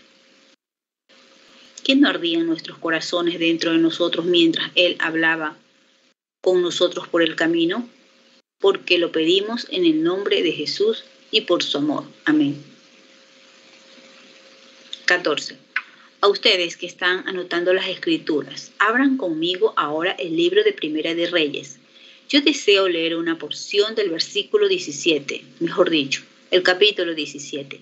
Ahora, yo voy a empezar en el versículo 14. Lee los versículos 14, 15 y 16 del capítulo 17 de Primera de Reyes. Porque Jehová Dios de Israel ha dicho así, la harina de la tinaja no escaseará ni el aceite de la vasija disminuirá, hasta el día que Jehová haga llover sobre la faz de la tierra. Entonces ella fue e hizo como le dijo Elías, y comió él y ella y su casa muchos días. Y la harina de la tinaja no escaseó, ni el aceite de la vasija menguó, conforme a la palabra que Jehová había dicho por Elías. 15. Debe haber sido casi al amanecer cuando ella despertó. Ella volteó su cabeza fatigada sobre la almohada cuando ella oyó un lamento, un llantito al otro lado del cuarto. Ella no había podido dormir en toda la noche. Ella estuvo dándose vueltas por motivo de esta gran tragedia. El niñito había despertado otra vez, no habiendo dormido por más de 20 o 30 minutos. Y yo puedo oír esta vocecita decir, mamá, no irías afuera y mirarías en la despensa otra vez y verías si no hay solo un pedacito de pan. Tengo tanta hambre, yo no puedo dormir. Y mientras ella miraba a su carita con sus pequeñas mejillas hundidas y sus ojitos poniéndose amarillos, su cabello largo colgándole por dejar de cortárselo, su camisita de noche harapienta, las grandes lágrimas de los ojos de ella salpicaron su carita, mientras ella le daba palmaditas a él en la mejilla y dijo, querido, trata de dormirte y entiende. 16. Había habido tres años que no había habido lluvia en la tierra. Ella se arrodilló en el piso. Puedo verla mientras ella clamaba a Dios. Ella dijo, oh Señor Dios Jehová, Tú eres el Dios de nuestros padres, quien ha alimentado a tus hijos y los ha cuidado a través de los años. Y yo he tratado de vivir fiel y recta para ti.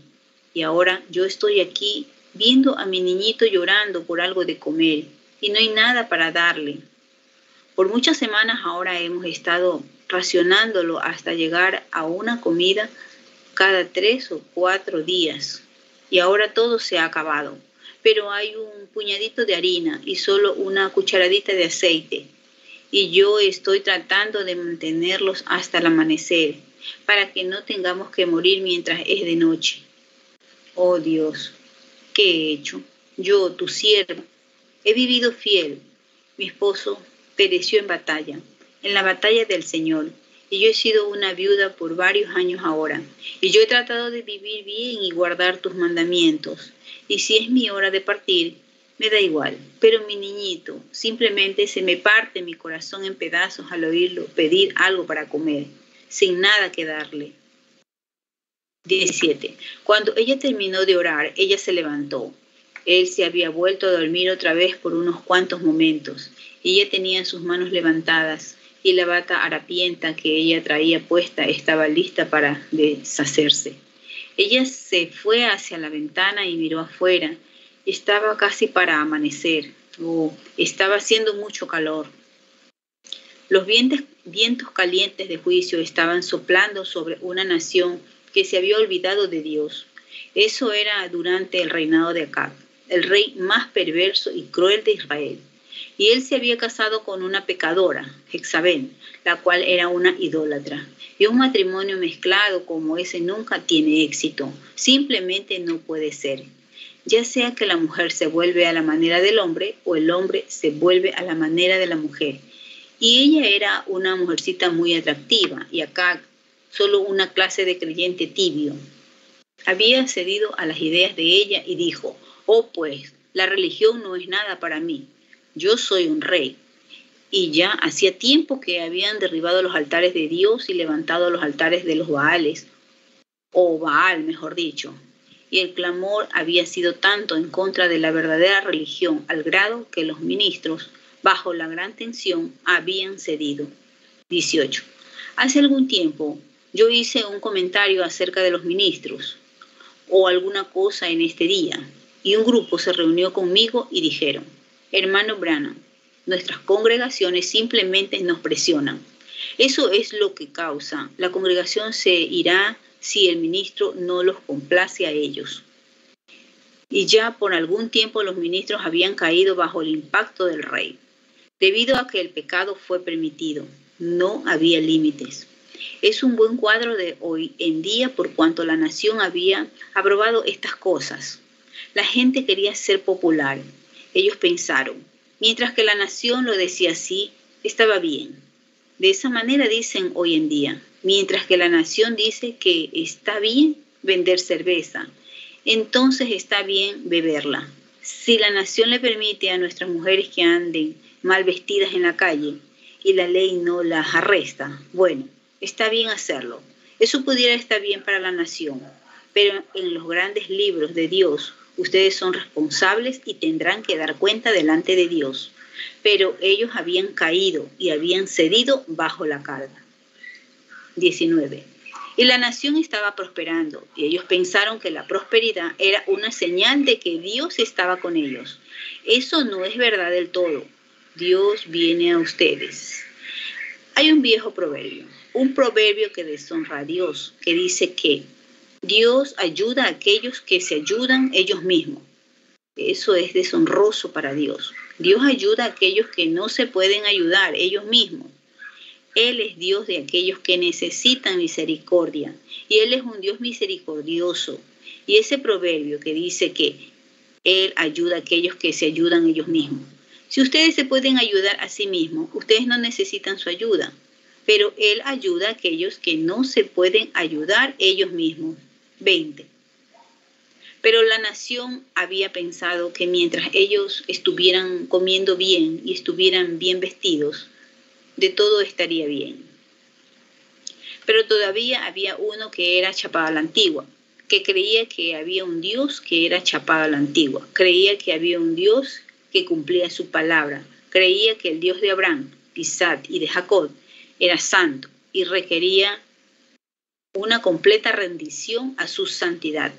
Pero Jezabel y su grupo modernístico lo aborrecería él.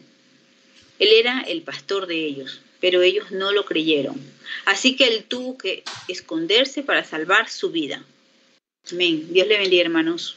Amén, hermana Di. Dios le bendiga. Eh, recordando, estamos lecturando este glorioso mensaje titulado Elías y la comida ofrecida, mensaje predicado en Fines, Arizona, Estados Unidos, el día 10 de marzo del año 1960. Para continuar, hermana Rosalia, en los párrafos 21 al 30. Dios le bendiga. Dios le bendiga, hermanas y hermanos. Continuando con el mensaje Elías y la comida ofrecida, párrafo 21. Y Dios lo había enviado arriba a la montaña y le dijo, le dio un mensaje y le dijo, ve allá y dile a ese rey perverso, así dice el Señor, no va a llover ni aún el rocío caerá hasta que tú llames por él. Se lo puso en la boca de Elías para llamar la lluvia cuando fuera tiempo para ello, pero él tenía las llaves del cielo él podía cerrarlo o abrirlo. Y él dijo, yo quiero que tú salgas del desierto, de este al desierto, mejor dicho, de este caos. Sal de entre ellos. Tú les has predicado a ellos y ellos no te escuchan a ti y continuamente se están poniendo peor. Ve al desierto y allá siéntate junto al arroyo de Keri. Y yo ya he ordenado a los cuervos que cuiden de ti.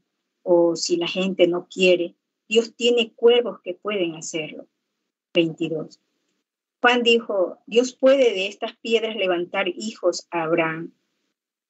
Jesús dijo, si ellos se callaran, las piedras clamarán. Dios puede hacer lo que Él quiera. Él dijo, yo he ordenado a los cuervos y ellos te van a alimentar y ellos le traían carne y pan. Alguien dijo una vez, ¿de dónde lo adquirieron, hermano Branham? Yo dije, yo no sé, La única cosa que sé es que ellos lo trajeron, lo obtuvieron del mismo lugar de donde Jesús lo tomó cuando él tomó cinco peces y, o cinco panes y dos peces y alimentó a cinco mil. Vino de la misma mano creativa del Dios Todopoderoso. Ellos le trajeron pan y pez. Los cuervos bajaron y se lo dieron a Elías y él se lo comió y se agachó y bebió de la fuente. Dios estaba dándole descanso a su profeta. Párrafo 23. Oh, estoy tan contento que Dios tiene un camino de escape. Y cuando ellos pensaron que él estaba loco, ese profeta, profeta anciano, un aguafiestas, siempre tratando de quitar el gozo de sus fiestecitas felices que estaban teniendo, diciéndoles que era pecado. Y Dios, él siguiendo la comisión de Dios, subió a las montañas y se sentó en lo más alto, en el lugar más seco en el país. Pero Dios mantuvo el arroyo corriendo y ellos estaban allá abajo retorciendo sus lenguas por agua. 24. Ustedes saben, Dios tiene una manera para responder a la oración. Esta mujercita había vivido fiel. Ella no se había casado de nuevo. Ella se iba a quedar soltera para encontrarse con su marido en la gloria. Ella era una mujer honorable y por semanas la tinaja se había estado escaseando y escaseando. Y ella continuamente orando y todavía parecía que no había esperanza a la vista en ninguna parte. Ustedes saben, de eso pudiéramos aprender una lección, que si ustedes han orado y cumplido todos los requisitos que Dios quiere que ustedes cumplan, y todavía Él está en silencio, Él no dice nada y sin embargo ustedes han cumplido los requisitos. Ahora, ¿qué sucede entonces? Si ustedes saben que ustedes han cumplido sus requisitos y ustedes han hecho todo lo que saben hacer, entonces la fe no fluctúa, solo se queda quieta y piensa positivamente. La fe se aferra eternamente alrededor de la roca de las edades y no se mueve. Ese gran personaje llamado fe, yo frecuentemente he dicho, la fe tiene pelo en el pecho. Cuando ella habla, todo lo demás se calla. Cuando la fe dice, cállate, entonces todo se calla, porque es el patrón. 25. Y ella había cumplido todo requisito, ella había vivido limpia, ella había vivido decentemente, ella había vivido honorablemente y ella había cumplido todos los requisitos de Dios, pero parecía que él estaba silente. Dios hace eso algunas veces para probarlo a uno, para ver qué clase de reacción uno tendrá. No lo olvide. Si ustedes pasan por la plataforma, se ora por ustedes y se les imponen las manos y parece que nada sucede. Eso no detiene la fe ni un poquito. Ustedes han cumplido los requisitos de Dios. Ahora, si ustedes los han cumplido, ahora, si ustedes se están reprimiendo de recibir a Dios, ustedes saben que su corazón les condena y sabemos, si nuestro corazón no nos condena, entonces tenemos. Ahora, pero si nuestro corazón nos condena, no hay necesidad de pasar por la plataforma no hay necesidad de pedirle nada a Dios porque ustedes no tienen fe para recibirlo. Pero cuando ustedes han cumplido todo requisito que Dios requiere, entonces la fe sale allí y dice, Dios es Dios, yo he cumplido los requisitos. Párrafo 26. La escritura dice, los que esperan a Jehová tendrán nuevas fuerzas, levantarán alas como águilas, correrán y no se cansarán, caminarán y no se fatigarán.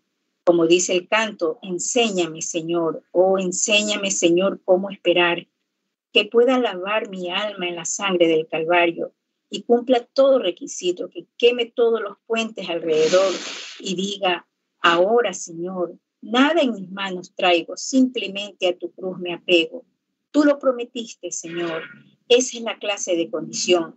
Esa es la razón que la gente piensa que me gusta estar solo, pero en el cuarto o allá al lado del desierto. Esa es en la condición en la que uno tiene que entrar antes que uno venga a este púlpito aquí, porque Satanás siempre está tirando pequeños diablillos para tratar de perturbar algo. Y uno tiene que estar correcto, aferrándose a la cruz, no confiando en su propia habilidad, en sus propios pensamientos, pero solo apoyándose en los brazos eternos, no reclamando inteligencia, no reclamando una mente de sí mismo, Ustedes solo se están abriendo y permitiéndole al Espíritu Santo hablar. Esa es la condición que Dios quiere a su iglesia. Entre, entre en esa condición.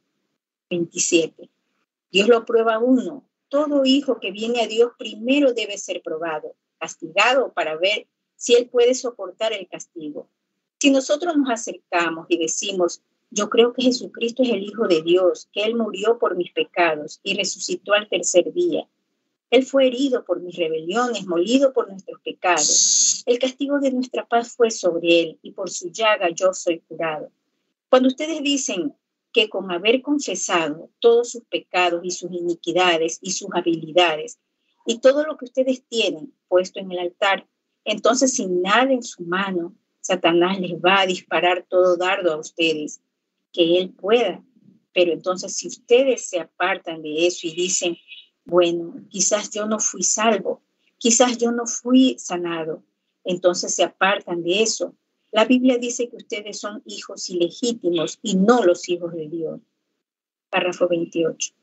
Dios prueba a todo hijo de Abraham como él lo hizo con Abraham porque somos simiente de Abraham. Por estar muertos en Cristo, somos simiente de Abraham y somos herederos según la promesa.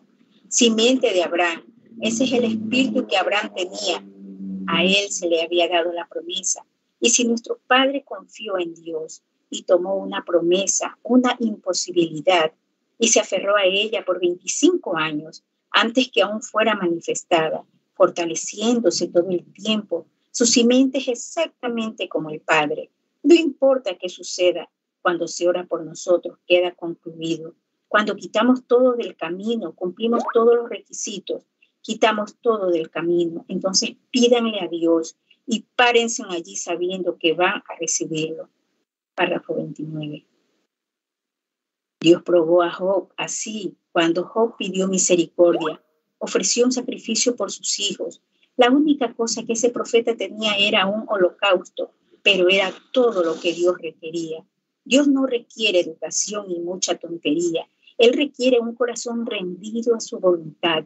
Él no le pide que se vista de una cierta manera o que pase por ciertas cosas o, o salir de ciertos colegios o títulos. Él pide un espíritu quebrantado, contrito y humilde y un corazón dispuesto para recibirlo a Él. Él probó a Job y para ver qué clase de reacción él encontraría en él. Pero cuando él le quitó sus ovejas y le quitó sus bueyes y le quitó sus camellos y le quitó sus hijos, yo veré lo que Job dice ahora. Y él dijo, Jehová dio y Jehová quitó, sea el nombre de Jehová bendito. Él encontró que lo que él le había dicho a Satanás lo tenía en Job, nadie como él en la tierra. Entonces los truenos comenzaron a rugir los relámpagos comenzaron a destellar. El Espíritu vino sobre el profeta y él clamó, yo sé que mi Redentor vive y en los últimos días él se levantará sobre el polvo. Aunque los gusanos de la piel destruyan este cuerpo, aún en mi carne he de ver a Dios, al cual veré por mí mismo, mis ojos lo verán y no otro. Párrafo 30 por último. Él probó a los jóvenes hebreos para ver qué clase de reacción ellos tendrían.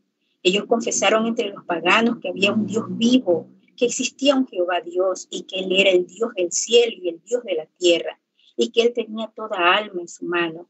Así que Dios permitió que ellos fueran probados y ellos habían cumplido todos los requisitos. Ellos se habían preparado en oración y habían quitado todo del camino y ellos no se iban a inclinar a la imagen del rey. Y él calentó el horno siete veces más caliente de lo que estaba y sin duda que Satanás estaba tratando de decirles, este es el fin del camino. A mí no me gusta de la manera que hablaron. Nuestro Dios puede librarnos de este horno de fuego, pero no, no obstante, si Él no lo hace, no quebrantaremos los mandamientos de Dios, permaneceremos fieles, que nuestra fe se oiga a través de los años por venir, que nos quedamos fieles a la promesa de Dios. Amén, hermanos, Dios bendiga. Amén, hermana Rosalía. Dios le bendiga. Continuamos con la lectura de este glorioso mensaje, Elías y la comida ofrecida, mensaje predicado en Fines, Arizona, Estados Unidos, día 10 de marzo del año 1960. Voy a continuar en los párrafos 31. Dice, mi Dios es capaz de sanarme de esto. Oh, mi Dios es capaz de sacarme de esta silla de ruedas. Mi Dios es capaz de hacer esto, pero yo lo he aceptado a Él como mi Salvador. Yo he confesado mis pecados, mi incredulidad, y confesé que yo creo que Él es mi sana- sanador.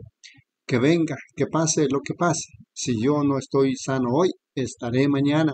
Si no estoy mañana, estaré el próximo año. Jehová dio y Jehová quitó, sea el nombre de Jehová bendito. Párrafo 32. O allí estaba, y cuando ellos entraron en el horno de fuego bajo una lucha, bajo una prueba, ellos se mantuvieron fieles hasta el fin. Pero Dios estuvo allí precisamente en la fracción de un momento y los libró. Ellos sabían que estaban preparados en oración, sus pecados habían sido confesados, ellos sabían que habían cumplido todo requisito y sin embargo, Él parecía estar en silencio.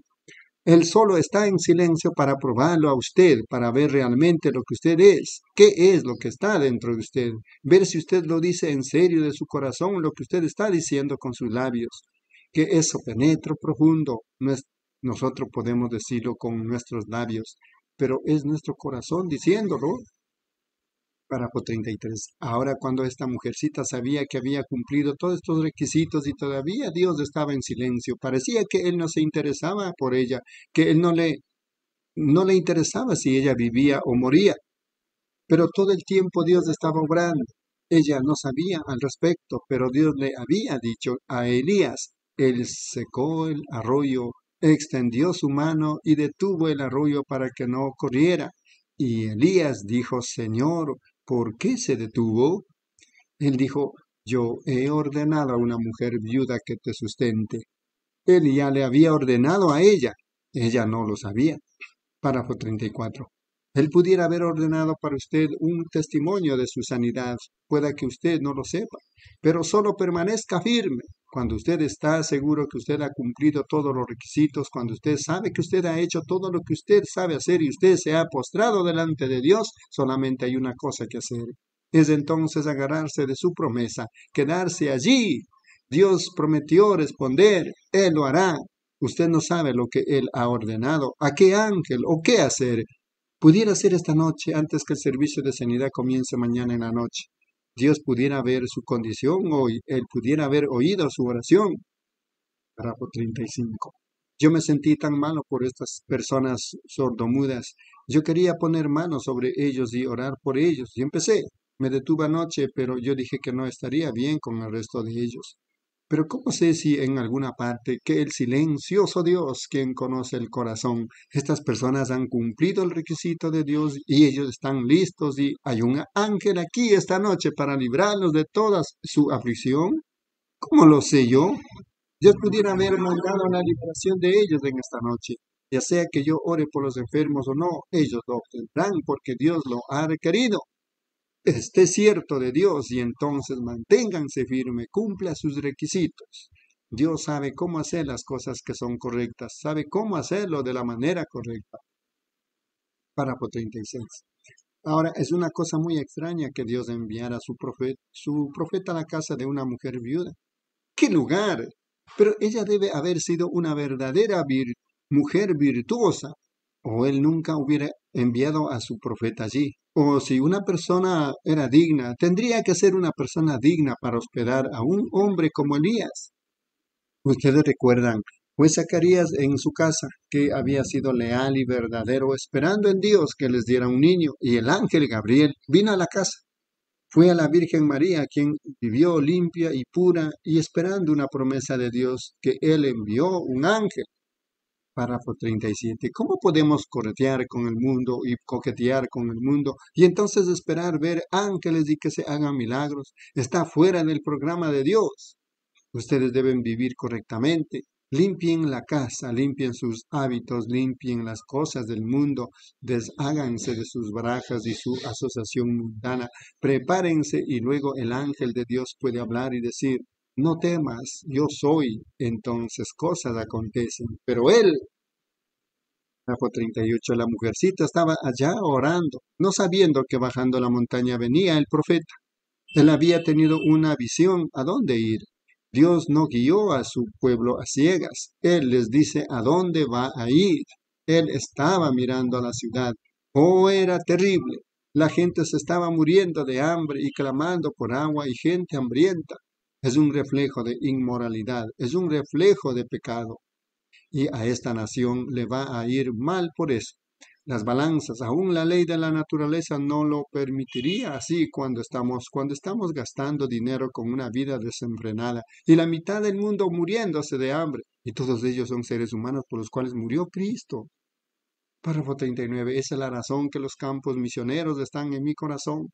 Ustedes tienen ministros maravillosos aquí en Fines y por todo alrededor de los Estados Unidos y lugares, iglesias en cada esquina, grandes hombres de Dios, servicios de sanidad, de grandes hombres como Oral Robert y otros grandes hombres predicando.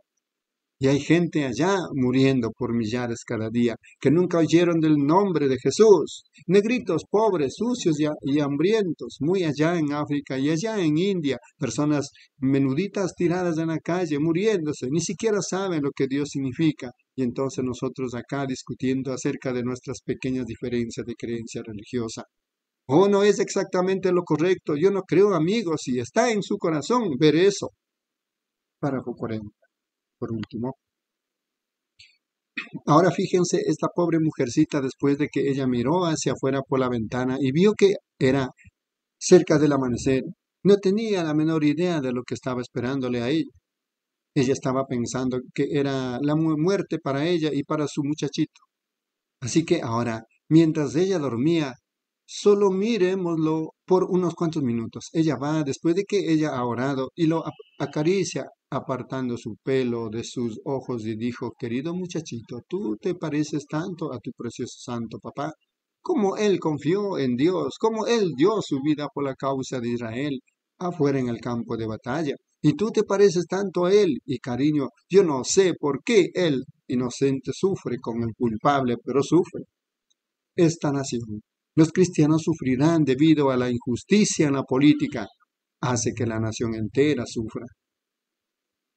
Amén, mis amados hermanos. Continuamos con la lectura de este mensaje. Elías y la comida ofrecida, mensaje predicado en Fines, Arizona, Estados Unidos de América, día 10 de marzo del año 1960. Continuamos, hermana Reina, los párrafos 41 al 50. Amén. Mensaje Elías y la comida ofrecida. Párrafo 41. Ahora yo la puedo ver a ella entrar y decir, yo prepararé una pequeña torta ahora. Yo tengo solo lo suficiente que quedó para una pequeña torta de, de, pan y cuando la comamos, entonces moriremos. Así que ella entra al cuarto y saca la harina de la tinaja de la harina.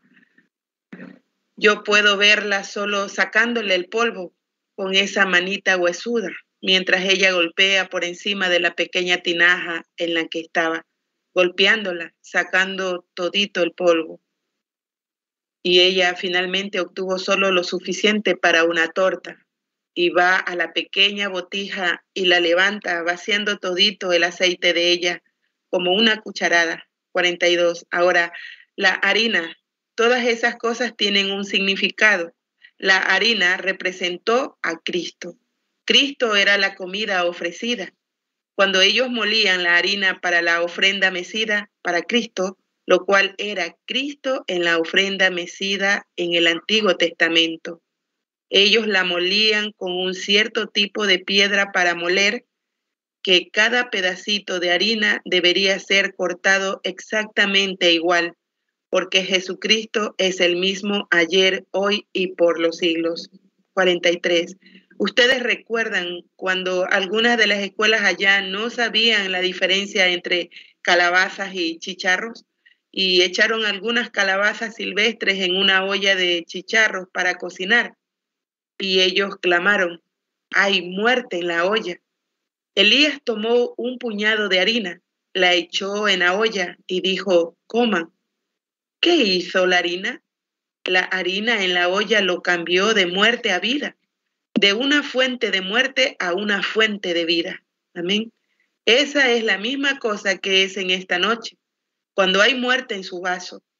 Cristo derramado en su vaso lo trae de muerte a vida. Cristo hace la diferencia, viniendo dentro del corazón humano. Oh, Él da una paz que sobrepasa todo entendimiento y también da vida eterna. El que cree en el Hijo tiene vida eterna y nunca morirá. 44. Ahora, ella cogió la harina, la cual representó a Cristo, y Cristo es la palabra. En el principio era la palabra, la palabra era con Dios, y la palabra era Dios, y la palabra fue hecha carne y habitó entre nosotros. Cristo, la comida ofrecida. Entonces ella fue y cogió el aceite, y el aceite representa el espíritu. Así que juntó la palabra y el espíritu, espíritu y comenzó a mezclarlos. Oh, algo tiene que suceder cuando eso acontece.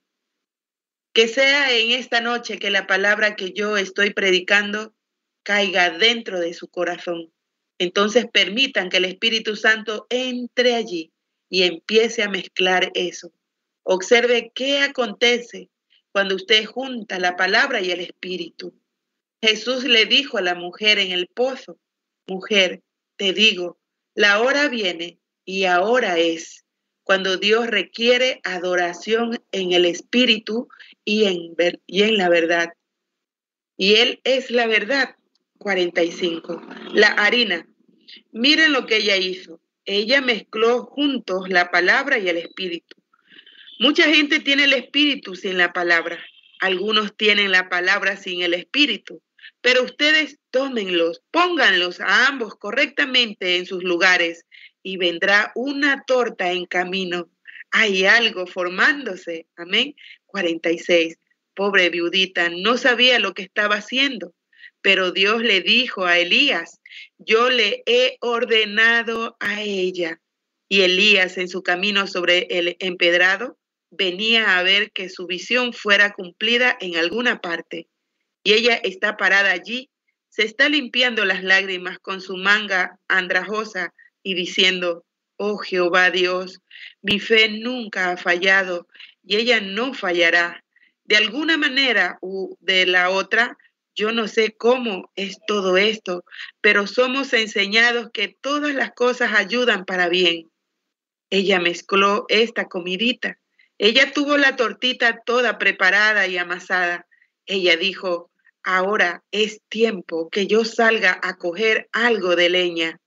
Ella va hacia atrás y abre la puerta y dijo, oh Señor, ese pobre vientrecito hambriento acostado allí, y yo no he comido por dos o tres semanas, yo le he dado a él mi pedacito de torta. Esa es una madre, el amor de una madre por su bebé. No hay nada como eso, solo el amor de Dios. Una madre puede olvidarse de lo que dio a luz, pero yo nunca puedo olvidarme de ti. Tus nombres están esculpidos en las palmas de mi mano. ¿Cómo puede Él olvidarse de ustedes? Yo nunca te desampararé o nunca te dejaré. Yo estaré con vosotros siempre, aún hasta el fin del mundo. Amén. 47. Allí ella mira a su bebé Quizás ella se regresó sigilosamente y le besó su frentecita, por si ella se desmayaba y moría allá afuera. Ella salió y apenas empieza a más o menos el sol empieza a salir sobre las colinas de Judea y ella mira al sol que empieza a asomarse. Muy allá en la calle ella oye maldecir y un alboroto. Y ella sale al patio y fíjense, ella recoge dos leños, no una abrazada, dos leños, que es la cruz 48. Ahora, cualquiera sabe, cualquiera de mis amigos indios aquí saben, o cualquier cazador, la manera correcta de hacer un fuego que dure es cruzar dos leños, dos troncos, encenderlos en el medio y solo continuar empujando los extremos hacia adentro durará toda la noche. Muchas veces yo me he acostado en el campo con dos leños, no más grandes que eso, y me mantengo caliente toda la noche, solo lo suficiente para mantenerme caliente, manteniéndolo allí en el centro de ello. 49. Ahora, ¿qué va a hacer ella? Encender estos dos leños Y la palabra y el espíritu son traídos a un sacrificio de sí mismo en la cruz, lista para el deber, lista para la vida, poniendo la palabra y el espíritu. Esa es la fe de ella en la palabra de Dios por el Espíritu Santo, dirigiéndose ella misma a sacrificar todo a la cruz. Y cuando ella cogió el leño bajo su brazo, dos de ellos, y emprendió su regreso. Ella se regresó y allí había una voz que vino de la puerta. Señora, un poco antes de eso, un anciano, quizás calvo, y con canas colgándole en su barba y su cabello colgándole y una pequeña vara en su mano, una piel vieja de oveja o algo envuelta alrededor de él, caminando por la calle, diciendo, Señor, es un, es un cierto cerquito blanco, habrá una encantadora mujer joven. Ella debe de haber sido joven, el muchacho estaba joven, afuera en el patio Tú me dijiste que era la viuda que me iba a alimentar. Ahora, ¿dónde está ella? Yo seguiré caminando. El Espíritu lo guía de esta manera. Entonces hace que se dé la vuelta. Oh, es tan maravilloso. Los hijos de Dios son guiados por el Espíritu de Dios. No importa qué tan ridículo suene, ellos son guiados. Ella va él va de una calle a la otra, va de una calle a la otra. Después de un rato, el Espíritu le dijo, mira a tu derecha. Y él mira así alrededor, así como él lo hace en la plataforma, noche tras noche. Oh, Dios todavía es el mismo. Mira a tu derecha, a tu izquierda. ¿Hay alguien orando quien lo necesita? Párrafo 50. Y él miró a su derecha Oye, allí está el cerquito blanco. Eso es exactamente correcto. Yo simplemente no me moveré de aquí, porque allí está ese árbol. Allí está todo de la manera que yo lo vi en la visión. La puerta se abre, una mujercita delgada sale. Ahora recuerden, ella solo va a recoger dos leños. Ella no podía haber recogido tres. Se necesitan dos para hacer la cruz. Ella recogió dos leños y los puso en su brazo y ella se regresó pensando, yo tendré la torta hecha cuando mi hijito despierte y entonces yo lo alimentaré a él. Yo misma no comeré nada y yo pondré a mi muchachito en mis brazos y allí nos sentaremos y moriremos. Y ella caminó hacia adentro de la casa. Amén. Dios le bendiga, mis hermanos. Amén, hermana Reina. Dios la bendiga. Continuamos con la lectura de este glorioso mensaje, Elías y la comida ofrecida. Mensaje predicado en Fines, Arizona, Estados Unidos, día 10 de marzo del año 1960. Continuamos, hermana Edí, en los párrafos 51 al 60. Continuando con la lectura del mensaje, Elías y la comida ofrecida. Párrafo 51. Ella oyó una voz extraña al otro lado de la puerta del cerco. Dijo, Mujer, ¿me traerías solo un poco de agua en un vaso? Ella volteó y ella pensó, allí está parado un hombre amable a la puerta del cerco. Ella lo miró a él atentamente y quizás limpió las lágrimas de sus ojos. Todavía era muy temprano, ustedes saben. Dios hace cosas tan extrañas. Ella estaba dispuesta a sacrificarse. El agua era una cosa tan escasa. No había llovido por tres años y seis meses. ¿Me traerías? Quizás Dios le dijo a él que dijera eso para ver lo que ella haría, probando su reacción. ¿Me traerías solo un poquito de agua en un vaso? Y ella lo miró a él. Él suena diferente. Hay algo acerca del anciano por lo cual me compadezco. 52. Cualquier creyente en Dios compartirá sin limitarse con otros. Sí, eso es una cosa que tiene la gente pentecostal. Ellos se quitarán la camisa de su espalda para darla por la causa. Eso es correcto. Es la verdad. Esa es una gran cosa. Una de las cosas más grandes de ellos. Ellos son los más grandes donadores en el mundo. Porque ellos saben que estos bienes terrenales no llegan a nada. Ellos ponen sus tesoros arriba en el cielo, porque ellos subirán allá uno de estos días. 53. Y así que esta mujer, ella dijo, yo solo compartiré mi agua. Nos vamos a morir, así que yo sacrificaré mi vaso de agua. Yo se lo daré al amable caballero anciano parado allí, porque se mira sediento y cansado. Ella dijo, yo lo traeré. Y ella empezó a caminar. Y otra vez ella oyó una voz, dijo, y en tu otra mano me traerías un bocadito de pan. Oh hermanos, ahora, ¿ahora qué? Su última esperanza para la vida de su niño, la última esperanza que ellos tenían. Y el pan desaparecería, el aceite desaparecería, todo desaparecería ahora. Pero miró hacia atrás y se preguntó, ella dijo, yo solo tengo un poquito de harina que queda en una tinaja yo solo tengo suficiente aceite con el que le he humedecido y ya la le he preparado o la he mezclado. Yo tengo la palabra y el espíritu mezclados juntos allí. Yo tengo la cruz aquí para ponerla sobre ella, para hacerla una torta para dar vida. Y eso es cuando el espíritu y la palabra se unen en la cruz. Hace un pan de vida para usted. Eso es correcto y yo los tengo juntos, y ahora voy a coserla y dársela a mi pequeño hijo moribundo allí adentro, que ha llorado toda la noche por algo de comer. Yo se la tengo, tengo que dar a él. Yo voy a sacrificar la mía y yo, yo, yo voy a dársela a él. Y entonces yo lo tomaré en mis brazos y ambos esperaremos la muerte. 54. Él dijo, pero tú hazme una pequeña primero ¿No es eso extraño que un hombre le pediría a una mujer viuda, muriéndose, por el último bocadito de harina que ella tenía en la casa, con un niño muriéndose?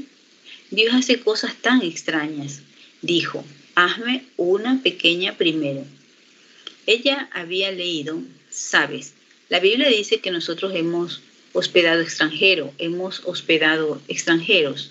Ellos eran ángeles no sabiendo lo que estábamos haciendo, bueno, dijo ella, yo lo haré. Y ella volteó. Él dijo, porque, oh hermano, ahí estaba, la consolación más grande que un creyente haya escuchado. Porque así dice el Señor.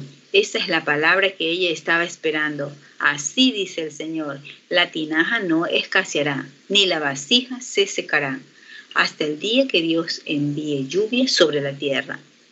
55. ¿Qué tomamos de allí? Buscad primeramente el reino de Dios y su justicia. Todas las otras cosas serán añadidas. ¿Cómo sé, hermano Branham? ¿Cómo sé? La única cosa que sé, ponga primero a Dios y quite todo. Sacrifique, mezcle el aceite, mezcle la palabra y el espíritu juntos y póstrese usted mismo sobre Heme aquí, Señor, ponga primero a Dios en todo. Porque así dice el Señor, la vasija no se secará, ni la tinaja se escaseará, hasta el día que el Señor Dios envíe lluvia sobre la tierra. Ella sabía entonces que era el profeta de Dios hablándole a ella. Oh, cómo su corazón debió haber saltado. Ella corrió adentro y hizo una tortita y se la trajo a él con el agua la mano temblorosa sobre esas mejillas hundidas. Ella sabía que Dios había venido al rescate debido al pedacito de pan. 56.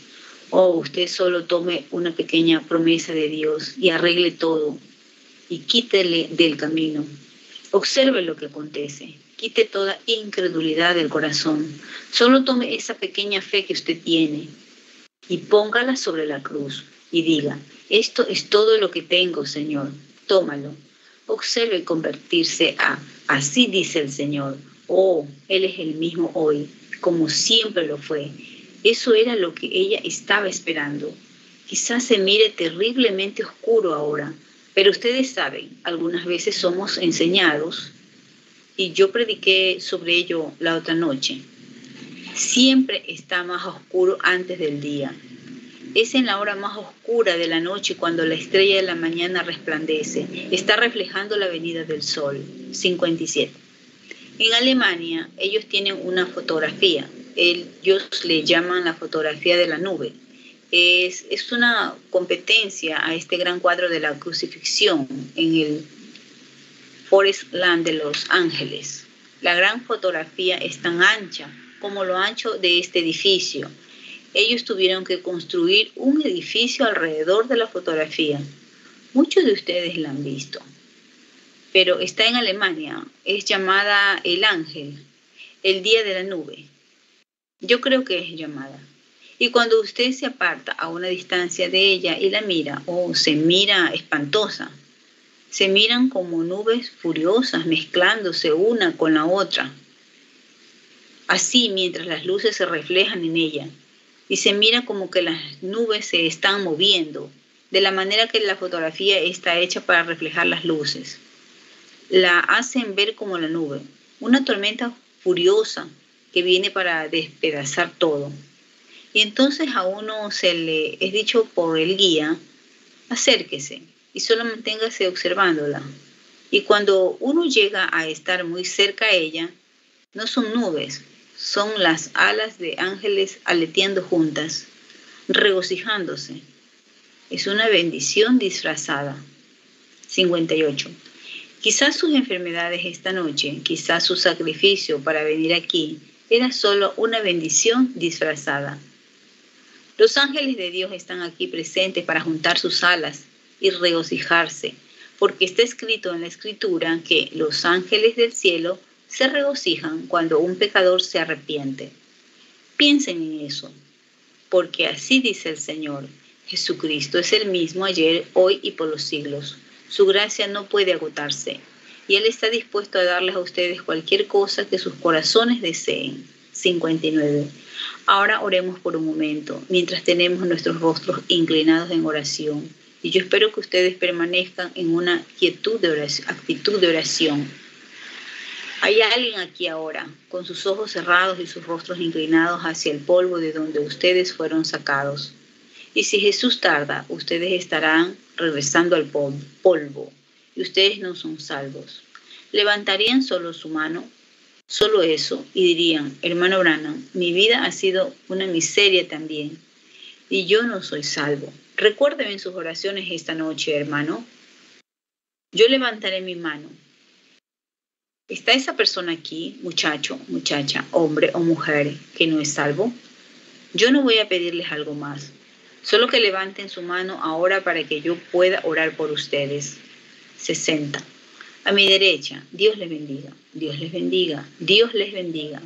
Y a usted, a usted, en alguna otra parte, muy allá en la parte de atrás, en alguna parte aquí en la fila de en medio, solo levanten su mano, nadie esté mirando, solo permitan que yo y el Espíritu Santo miremos. Ahora, Dios les bendiga, Dios les bendiga, eso es bueno. ¿Alguien más en las filas de en medio? Levante su mano, diga, hermano Branham, yo no soy un cristiano, yo, yo he cansado tanto al Espíritu Santo que se ha apartado de mí al grado que Él ya no me molesta, pero realmente yo sé que estoy mal. Yo sé que nunca he sido nacido de nuevo del Espíritu Santo. Yo sé que yo, yo no soy digno. Yo no tengo nada. Yo no he confesado todas mis cosas. Yo no he cumplido con todos los requisitos de Dios. Dios le bendiga, hermano. Amén, amén hermana Eri, Dios le bendiga. Continuamos con este glorioso mensaje. Elías y la comida ofrecida a fines de Arizona, Estados Unidos, día 10 de marzo del año 1960. Hermana Rosaria, por favor, en los párrafos 61 al 70. Amén, hermanos. Continuando con el mensaje, Elías y la comida ofrecida, párrafo 61. Quizás usted esté, esté enfermo no le hará ningún bien hasta que usted cumpla los requisitos de Dios. Hermano Branham, yo he confesado el cristianismo por mucho tiempo, pero verdaderamente yo siempre he dudado la sanidad divina. Yo como que, como que me he preguntado si el Espíritu Santo estaba correcto. Oh hermana querida o hermano querido, usted nunca puede obtener nada de Dios de esa manera. No, Usted tiene que cumplir todo requisito y luego estar seguro que usted está bien con Dios. Luego tome su promesa y aférrese a ella. 62. A mi izquierda, ¿habría alguno por allí? ¿Alguno de ustedes jóvenes allá atrás? Igualmente, si usted no es un cristiano, levante su mano y diga, Recuérdeme, hermano Branham, Dios le bendiga. Yo veo su mano muy allá atrás y atrás, en la parte de atrás, la veo a usted, señora, aquí atrás, sí, allá por acá, sí, la niñita que sí, el Señor le bendiga. Señor los bendiga a todos allá, eso es bueno. Ahora, yo les prometí a ustedes aquí que es todo lo que les pediría, solo levantar sus manos. Ahora vamos a orar. Y antes que hagamos esto, ahora, después que tenemos a los pecadores con sus manos levantadas, algunos 20 o 30. ¿Cuántos están enfermos? Levantarían sus manos y dirían, recuérdeme, hermano Branja, en sus oraciones, que Dios tenga misericordia de mí y me sane. Yo creo que hay 200 o más de ellos. Muy bien. Oremos. Nuestro Padre Celestial, es tan grato venir a ti con estas peticiones, a, mí, yo soy tu creador, y ellos levantaron su mano. Entonces eso demuestra que el Espíritu es más grande que la ciencia. Padre, tú dijiste, ninguno puede venir a mí si mi Padre no le trajere primero, y todo el que a mí viene, yo les daré vida eterna. Ahora, ellos son tuyos, Señor, dales vida, ahora mismo en donde ellos están sentados en sus asientos, que ellos tengan vida eterna, que tú los levantes en el día postrero. Preséntalos al Padre Dios del cielo como joyas en la corona de la iglesia. Concédelo, Padre. Yo ruego por estos que están enfermos y afligidos. Muchas de sus manos fueron levantadas esta noche debido a que ellos vieron que una mujer verdaderamente necesitaba a Dios. Ella vio esas horas cruciales viniendo. Sin duda que hay muchos de esos aquí de esa misma manera que van a morir pero Dios ya ordenó a sus profetas y todo está bien, obrará exactamente bien, si están seguros que todo está bien. Entonces ellos están seguros de Dios, ellos están seguros que Él guarda su promesa. Entonces, Padre, oramos que tú lidies con ellos en esta noche como a tus amados hijos enfermos y sanarás sus aflicciones y les darás poder y gracia y fe. Hazlo, Padre. Párrafo 64. Bendice a todos los ministros que están aquí esta noche, a tus preciosos profetas. Oramos que tú los unjas, Señor, y que ellos sean aquellos quienes bendecirán los hogares de estas personas, que haya pan de vida en sus hogares mientras ellos vivan, que su vasija nunca se seque, que ni las tinajas estén vacías, que haya pan espiritual en cada iglesia por toda esta tierra, Señor, que alimentará a los hambrientos que están necesitados. Concédelo, Señor te amamos y sabemos que tú nos amaste primero, porque cuando todavía éramos pecadores, Cristo murió por nosotros, el inocente por el culpable, para hacer la propiciación por nuestros pecados, para reconciliarnos de regreso a Dios, cuando estábamos perdidos y muertos sin Dios o su Hijo, desde el huerto del Edén, desde que las transgresiones de nuestros padres nos trajeron al caos de pecado.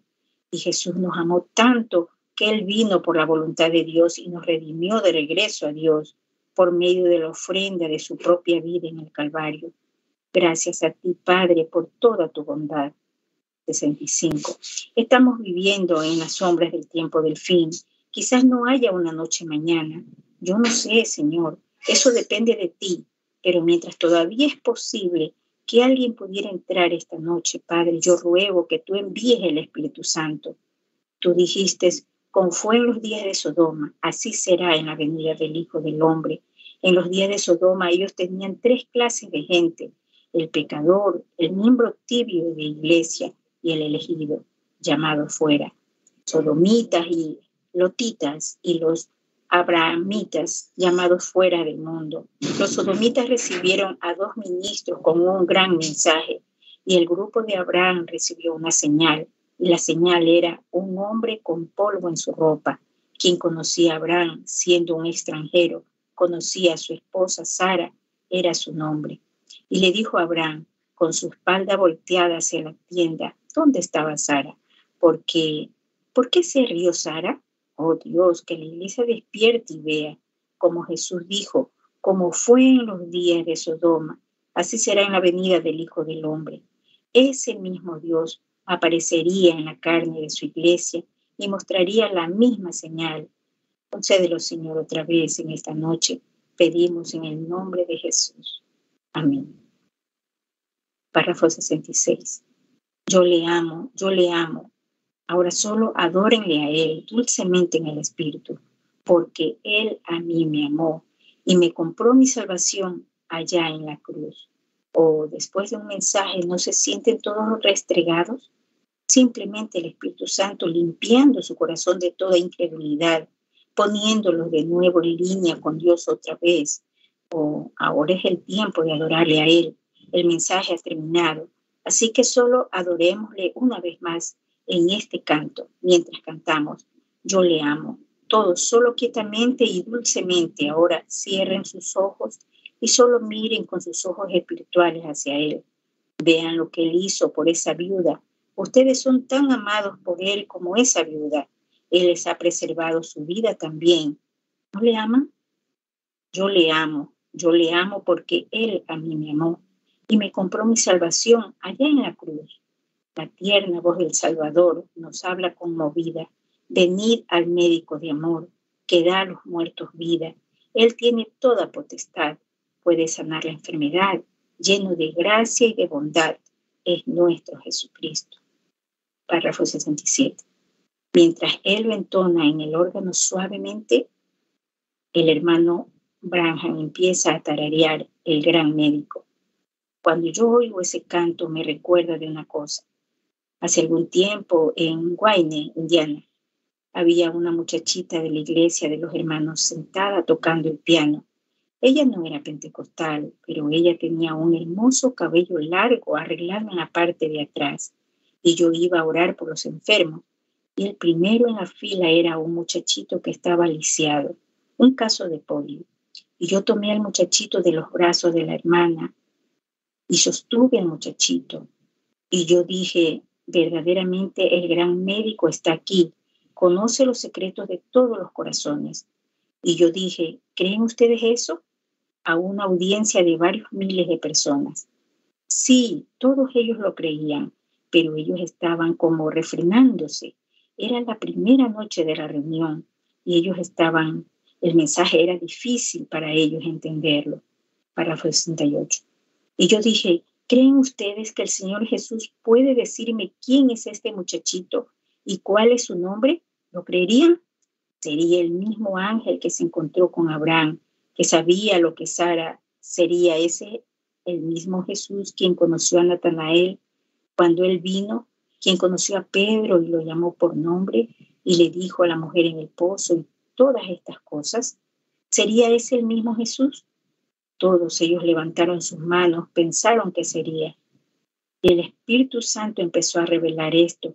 Y cuando él lo hizo, el niñito saltó de mis brazos, corrió y saltó bajándose de la plataforma. La madre se desmayó en la silla sentada allí enfrente del niñito. Y el muchachito corriendo de arriba abajo. La muchacha Amis, o de la iglesia de los hermanos, estaba tocando el piano. Ella se puso muy pálida, se levantó en, en medio de la reunión y su cabello le cayó sobre su espalda. Ella estaba vestida con un vestido blanco. Ella se miraba como un ángel y ella comenzó a cantar ese en lenguas desconocidas. Y cuando ella lo hizo, el piano nunca dejó de tocar una nota. La tierna voz del Salvador nos habla conmovida. Venid al médico de amor que da a los muertos vida. 69. La gente vino en gran número alrededor del altar y llorando y postrándose en los pasillos y gritando, Dios ten misericordia de mí. Oh, qué reunión fue esa. Ese gran médico todavía está aquí. Él no ha fallado. Él nunca puede fallar. Ahora, ¿cuántos aquí creen eso? Solemnemente, con todo su corazón, y ustedes están aquí esta noche con expectaciones de ser sanados por el poder de Dios. Si hay alguien en el edificio que conozco, aparte de estos aquí, estos muchachos sentados aquí, tres de ellos con los que hablé el otro día en una entrevista de Kansas, el hermano Pat Tiller, quien es un gángster convertido, el hermano William sentado allí y que yo pueda, y el hermano Gene Watt, mi buen amigo sentado aquí. Y yo creo que son todos los que yo veo en el edificio que conozco en este momento pero de este lado conozco a estas personas sentadas aquí. Párrafo 70 por último. Ahora, yo me he parado con, Corán en una mano y la Biblia en la otra, ante cien mil, y he dicho, uno tiene que estar correcto y el otro errado. Y la religión cristiana es la única entre todas las religiones, y el Evangelio completo es el único grupo entre ellos que puede probar que Jesucristo todavía vive. El resto de ellos tienen teología y le dirán acerca de ello. Nosotros tenemos tanta psicología como ustedes. Los maometanos dicen, nosotros tenemos tanta psicología como ustedes. Nosotros le podemos gritar tan fuerte a nuestro profeta como ustedes le pueden a su Jesús. Pero nuestro profeta nunca nos prometió nada. Su Jesús les prometió a ustedes que Él se levantaría de los muertos y que las cosas que Él hizo, ustedes las harían también, porque Él viviría en ustedes. Ahora, ustedes dicen que nuestro profeta está muerto allá en la tumba y ustedes tienen a un Jesús resucitado. Veámoslo actuar. Ellos podrán. Amén, hermanos. Dios le bendiga. Amén, hermana Rosalía. Dios le bendiga. Tenemos unos minutitos más. Vamos a continuar con este glorioso mensaje. Elías y la comida ofrecida. Párrafo 71 dice, ustedes pueden jugar aquí con algunos de estos teólogos sobre algunas palabras griegas o algo con lo que ustedes mismos estarán todos confundidos, pero ustedes nunca intenten traerlo a una confrontación con alguno de esas personas. Es mejor que ustedes tengan de lo que están hablando. Y es mejor que ustedes sepan que esa es la razón que es dificultoso llevar misioneros allá. Ellos saben de lo que están hablando y es mejor que ustedes sepan porque van a retarlo al respecto. Pero yo estoy tan agradecido esta noche de saber, amigo, que nuestro Jesús y toda promesa que él hizo es la verdad. Si yo pudiera sanar a alguien aquí, yo lo haría. Si yo no lo hiciera, sería un hipócrita, pero yo no puedo. Pero Dios le ha dado un don a la iglesia que él prometió. 72. Pues durante los días de Lutero nosotros vivimos por medio de justificación. Durante los días de Wesley vivimos por medio de santificación. La iglesia llegó a estar en la minoría.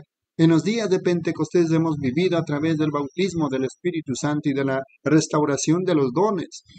Ahora verdaderamente estamos en la minoría. La venida del Hijo de Dios. Aquí ellos creyeron por fe. Aquí ellos gritaron bajo santificación. Aquí ellos hablaron en lenguas como un don. Pero ahora el negativo y el positivo y la, la, corona viniendo sobre la pirámide. Y es el tiempo del fin cuando Cristo y su iglesia son tan semejantes al grado que van a llamar a los muertos de los metodistas, luteranos y a todos esos de allá atrás y habrá una resurrección. Aquellos que durmieron la primera, segunda, tercera, cuarta, quinta, sexta y séptima vigilia se levantarán uno de estos días para encontrar a Jesús en los cielos. La hora ha llegado, amigos. La venida del Señor está a la mano. 73. Nosotros miramos a Jerusalén y vemos que los judíos fueron cegados por causa de nosotros. La higuera está echando sus brotes. Él dijo, y los otros árboles, Billy Graham, ha causado un, avivamiento entre la gente nominal. Oral Robel ha causado un avivamiento entre los pentecostales. Y ahora Jesús, el Hijo de Dios, ha venido a este remanente para sacar a la gente la piedra de corona, para traer de regreso al Hijo de Dios, para completar la cosa para la venida del Señor Jesús. Él dijo, como buenos días de Sodoma, así será en la venida del Hijo del Hombre. Yo voltearé mi espalda hacia ustedes, no solamente para que ustedes lo vean. Ahora recuerden, no era el hombre. El hombre sentado era solamente algo de calcio, potasio y petróleo, 16 elementos de la tierra en el cual Dios entró. El hermano Abraham sopla. Lo sopló juntos y entró en ese cuerpo y está viviendo. Jesucristo era la misma cosa, Él era el Hijo de Dios, Él era Dios manifestado en la carne, pero su carne era hombre, su espíritu era Dios. Entonces Él prometió en los últimos días que Él entraría en su iglesia. Un poco y el mundo no me verá más, pero vosotros me veréis porque yo estaré con vosotros, aún en vosotros. Las obras que yo hago, vosotros también las haréis. Ven, ahora ese gran médico está aquí. Él dijo, ahora, la señal de Sodoma y Gomorra, ¿ahora qué es? Miren en nuestros periódicos, homosexuales, perversión, aumentado un 40% que lo que era hace 10 años. Terremotos en diversos lugares, toda clase de señales de la venida, la iglesia apostatando, el tiempo del fin está aquí. Ahora también Dios está mostrando sus señales, como hemos estado predicando. Ahora si esta Biblia es verdad, la cual es por Yo estoy listo para morir por ese propósito. La Biblia es verdad, Jesucristo vive. Nosotros somos su iglesia llena con su espíritu. Entonces su vida en nosotros producirá la misma vida que Él vivió en el Hijo de Dios. Y el Espíritu Santo, el Espíritu Santo de Dios vive en nosotros. Párrafo 75 por último pero a la gloria de Dios y para el bien de la iglesia y por sus enfermedades. Ustedes que están enfermos y afligidos, toquen al borde de su manto y vean si ustedes pueden causar que Él lo diga por medio de mí, como su siervo, lo llamo como Él lo hizo con la mujer que tocó su manto. Que el Señor lo conceda. ¿Nos haría creer más y aceptar su sanidad? ¿Cuántos creen que ellos pudieran aceptar su sanidad si Dios los llamara de esa manera o lo vieron a Él llamar? Levanten su mano, el Señor los conceda continúen tocando ese, el gran médico, ¿lo? Yo me siento guiado a hacer eso. Amén, mis amados hermanos. Por el tiempo vamos a concluir. Si Dios permite, el día de mañana continuaremos con este glorioso mensaje, Elías y la comida ofrecida. Fines de Arizona, Estados Unidos, día 10 de marzo del año 1960. Agradeciendo a nuestro Padre Celestial por estos bellos momentos, vamos a despedirnos, no de su presencia, sino de este compañerismo. Gracias Amado Padre Celestial, qué intrusión tan gloriosa que tú nos has dado en esta tarde y noche, Señor. Permite ser como la viuda, que ella cogió la harina a la cual representó a Cristo, cogió el aceite que representa al Espíritu Santo, oh Padre. Mensaje glorioso, mensaje tiempo que tú nos has dado para vivir en este tiempo, Señor. Muchas gracias por este privilegio. Oh Padre amado, si tú tienes un día más para nosotros, volveremos con mucho entusiasmo, con mucha alegría. Oh Padre amado, porque es tu palabra, dador de, de toda dádiva, dador de vida eterna, oh Padre amado. Bendice grandemente al alma, al corazón que ha lecturado en esta tarde y que sea penetrado en cada uno de vosotros, Señor. Porque el águila, simiente predestinada, gente con percepción profética, tenía que venir en la cena, Señor. Cuando Génesis era una semilla, aquí está ya el fruto, Padre, en Apocalipsis. Entonces todo saldrá, lo bueno y, y lo malo saldrá, oh Padre. Te lo pedimos, Señor. Muchas gracias por este privilegio en el nombre del Señor Jesucristo. Amén, mis amados hermanos. Que el Señor Jesucristo los bendiga ricamente. Amén, hermano. Dios le bendiga. Shalom. Amén, amén. Dios le bendiga.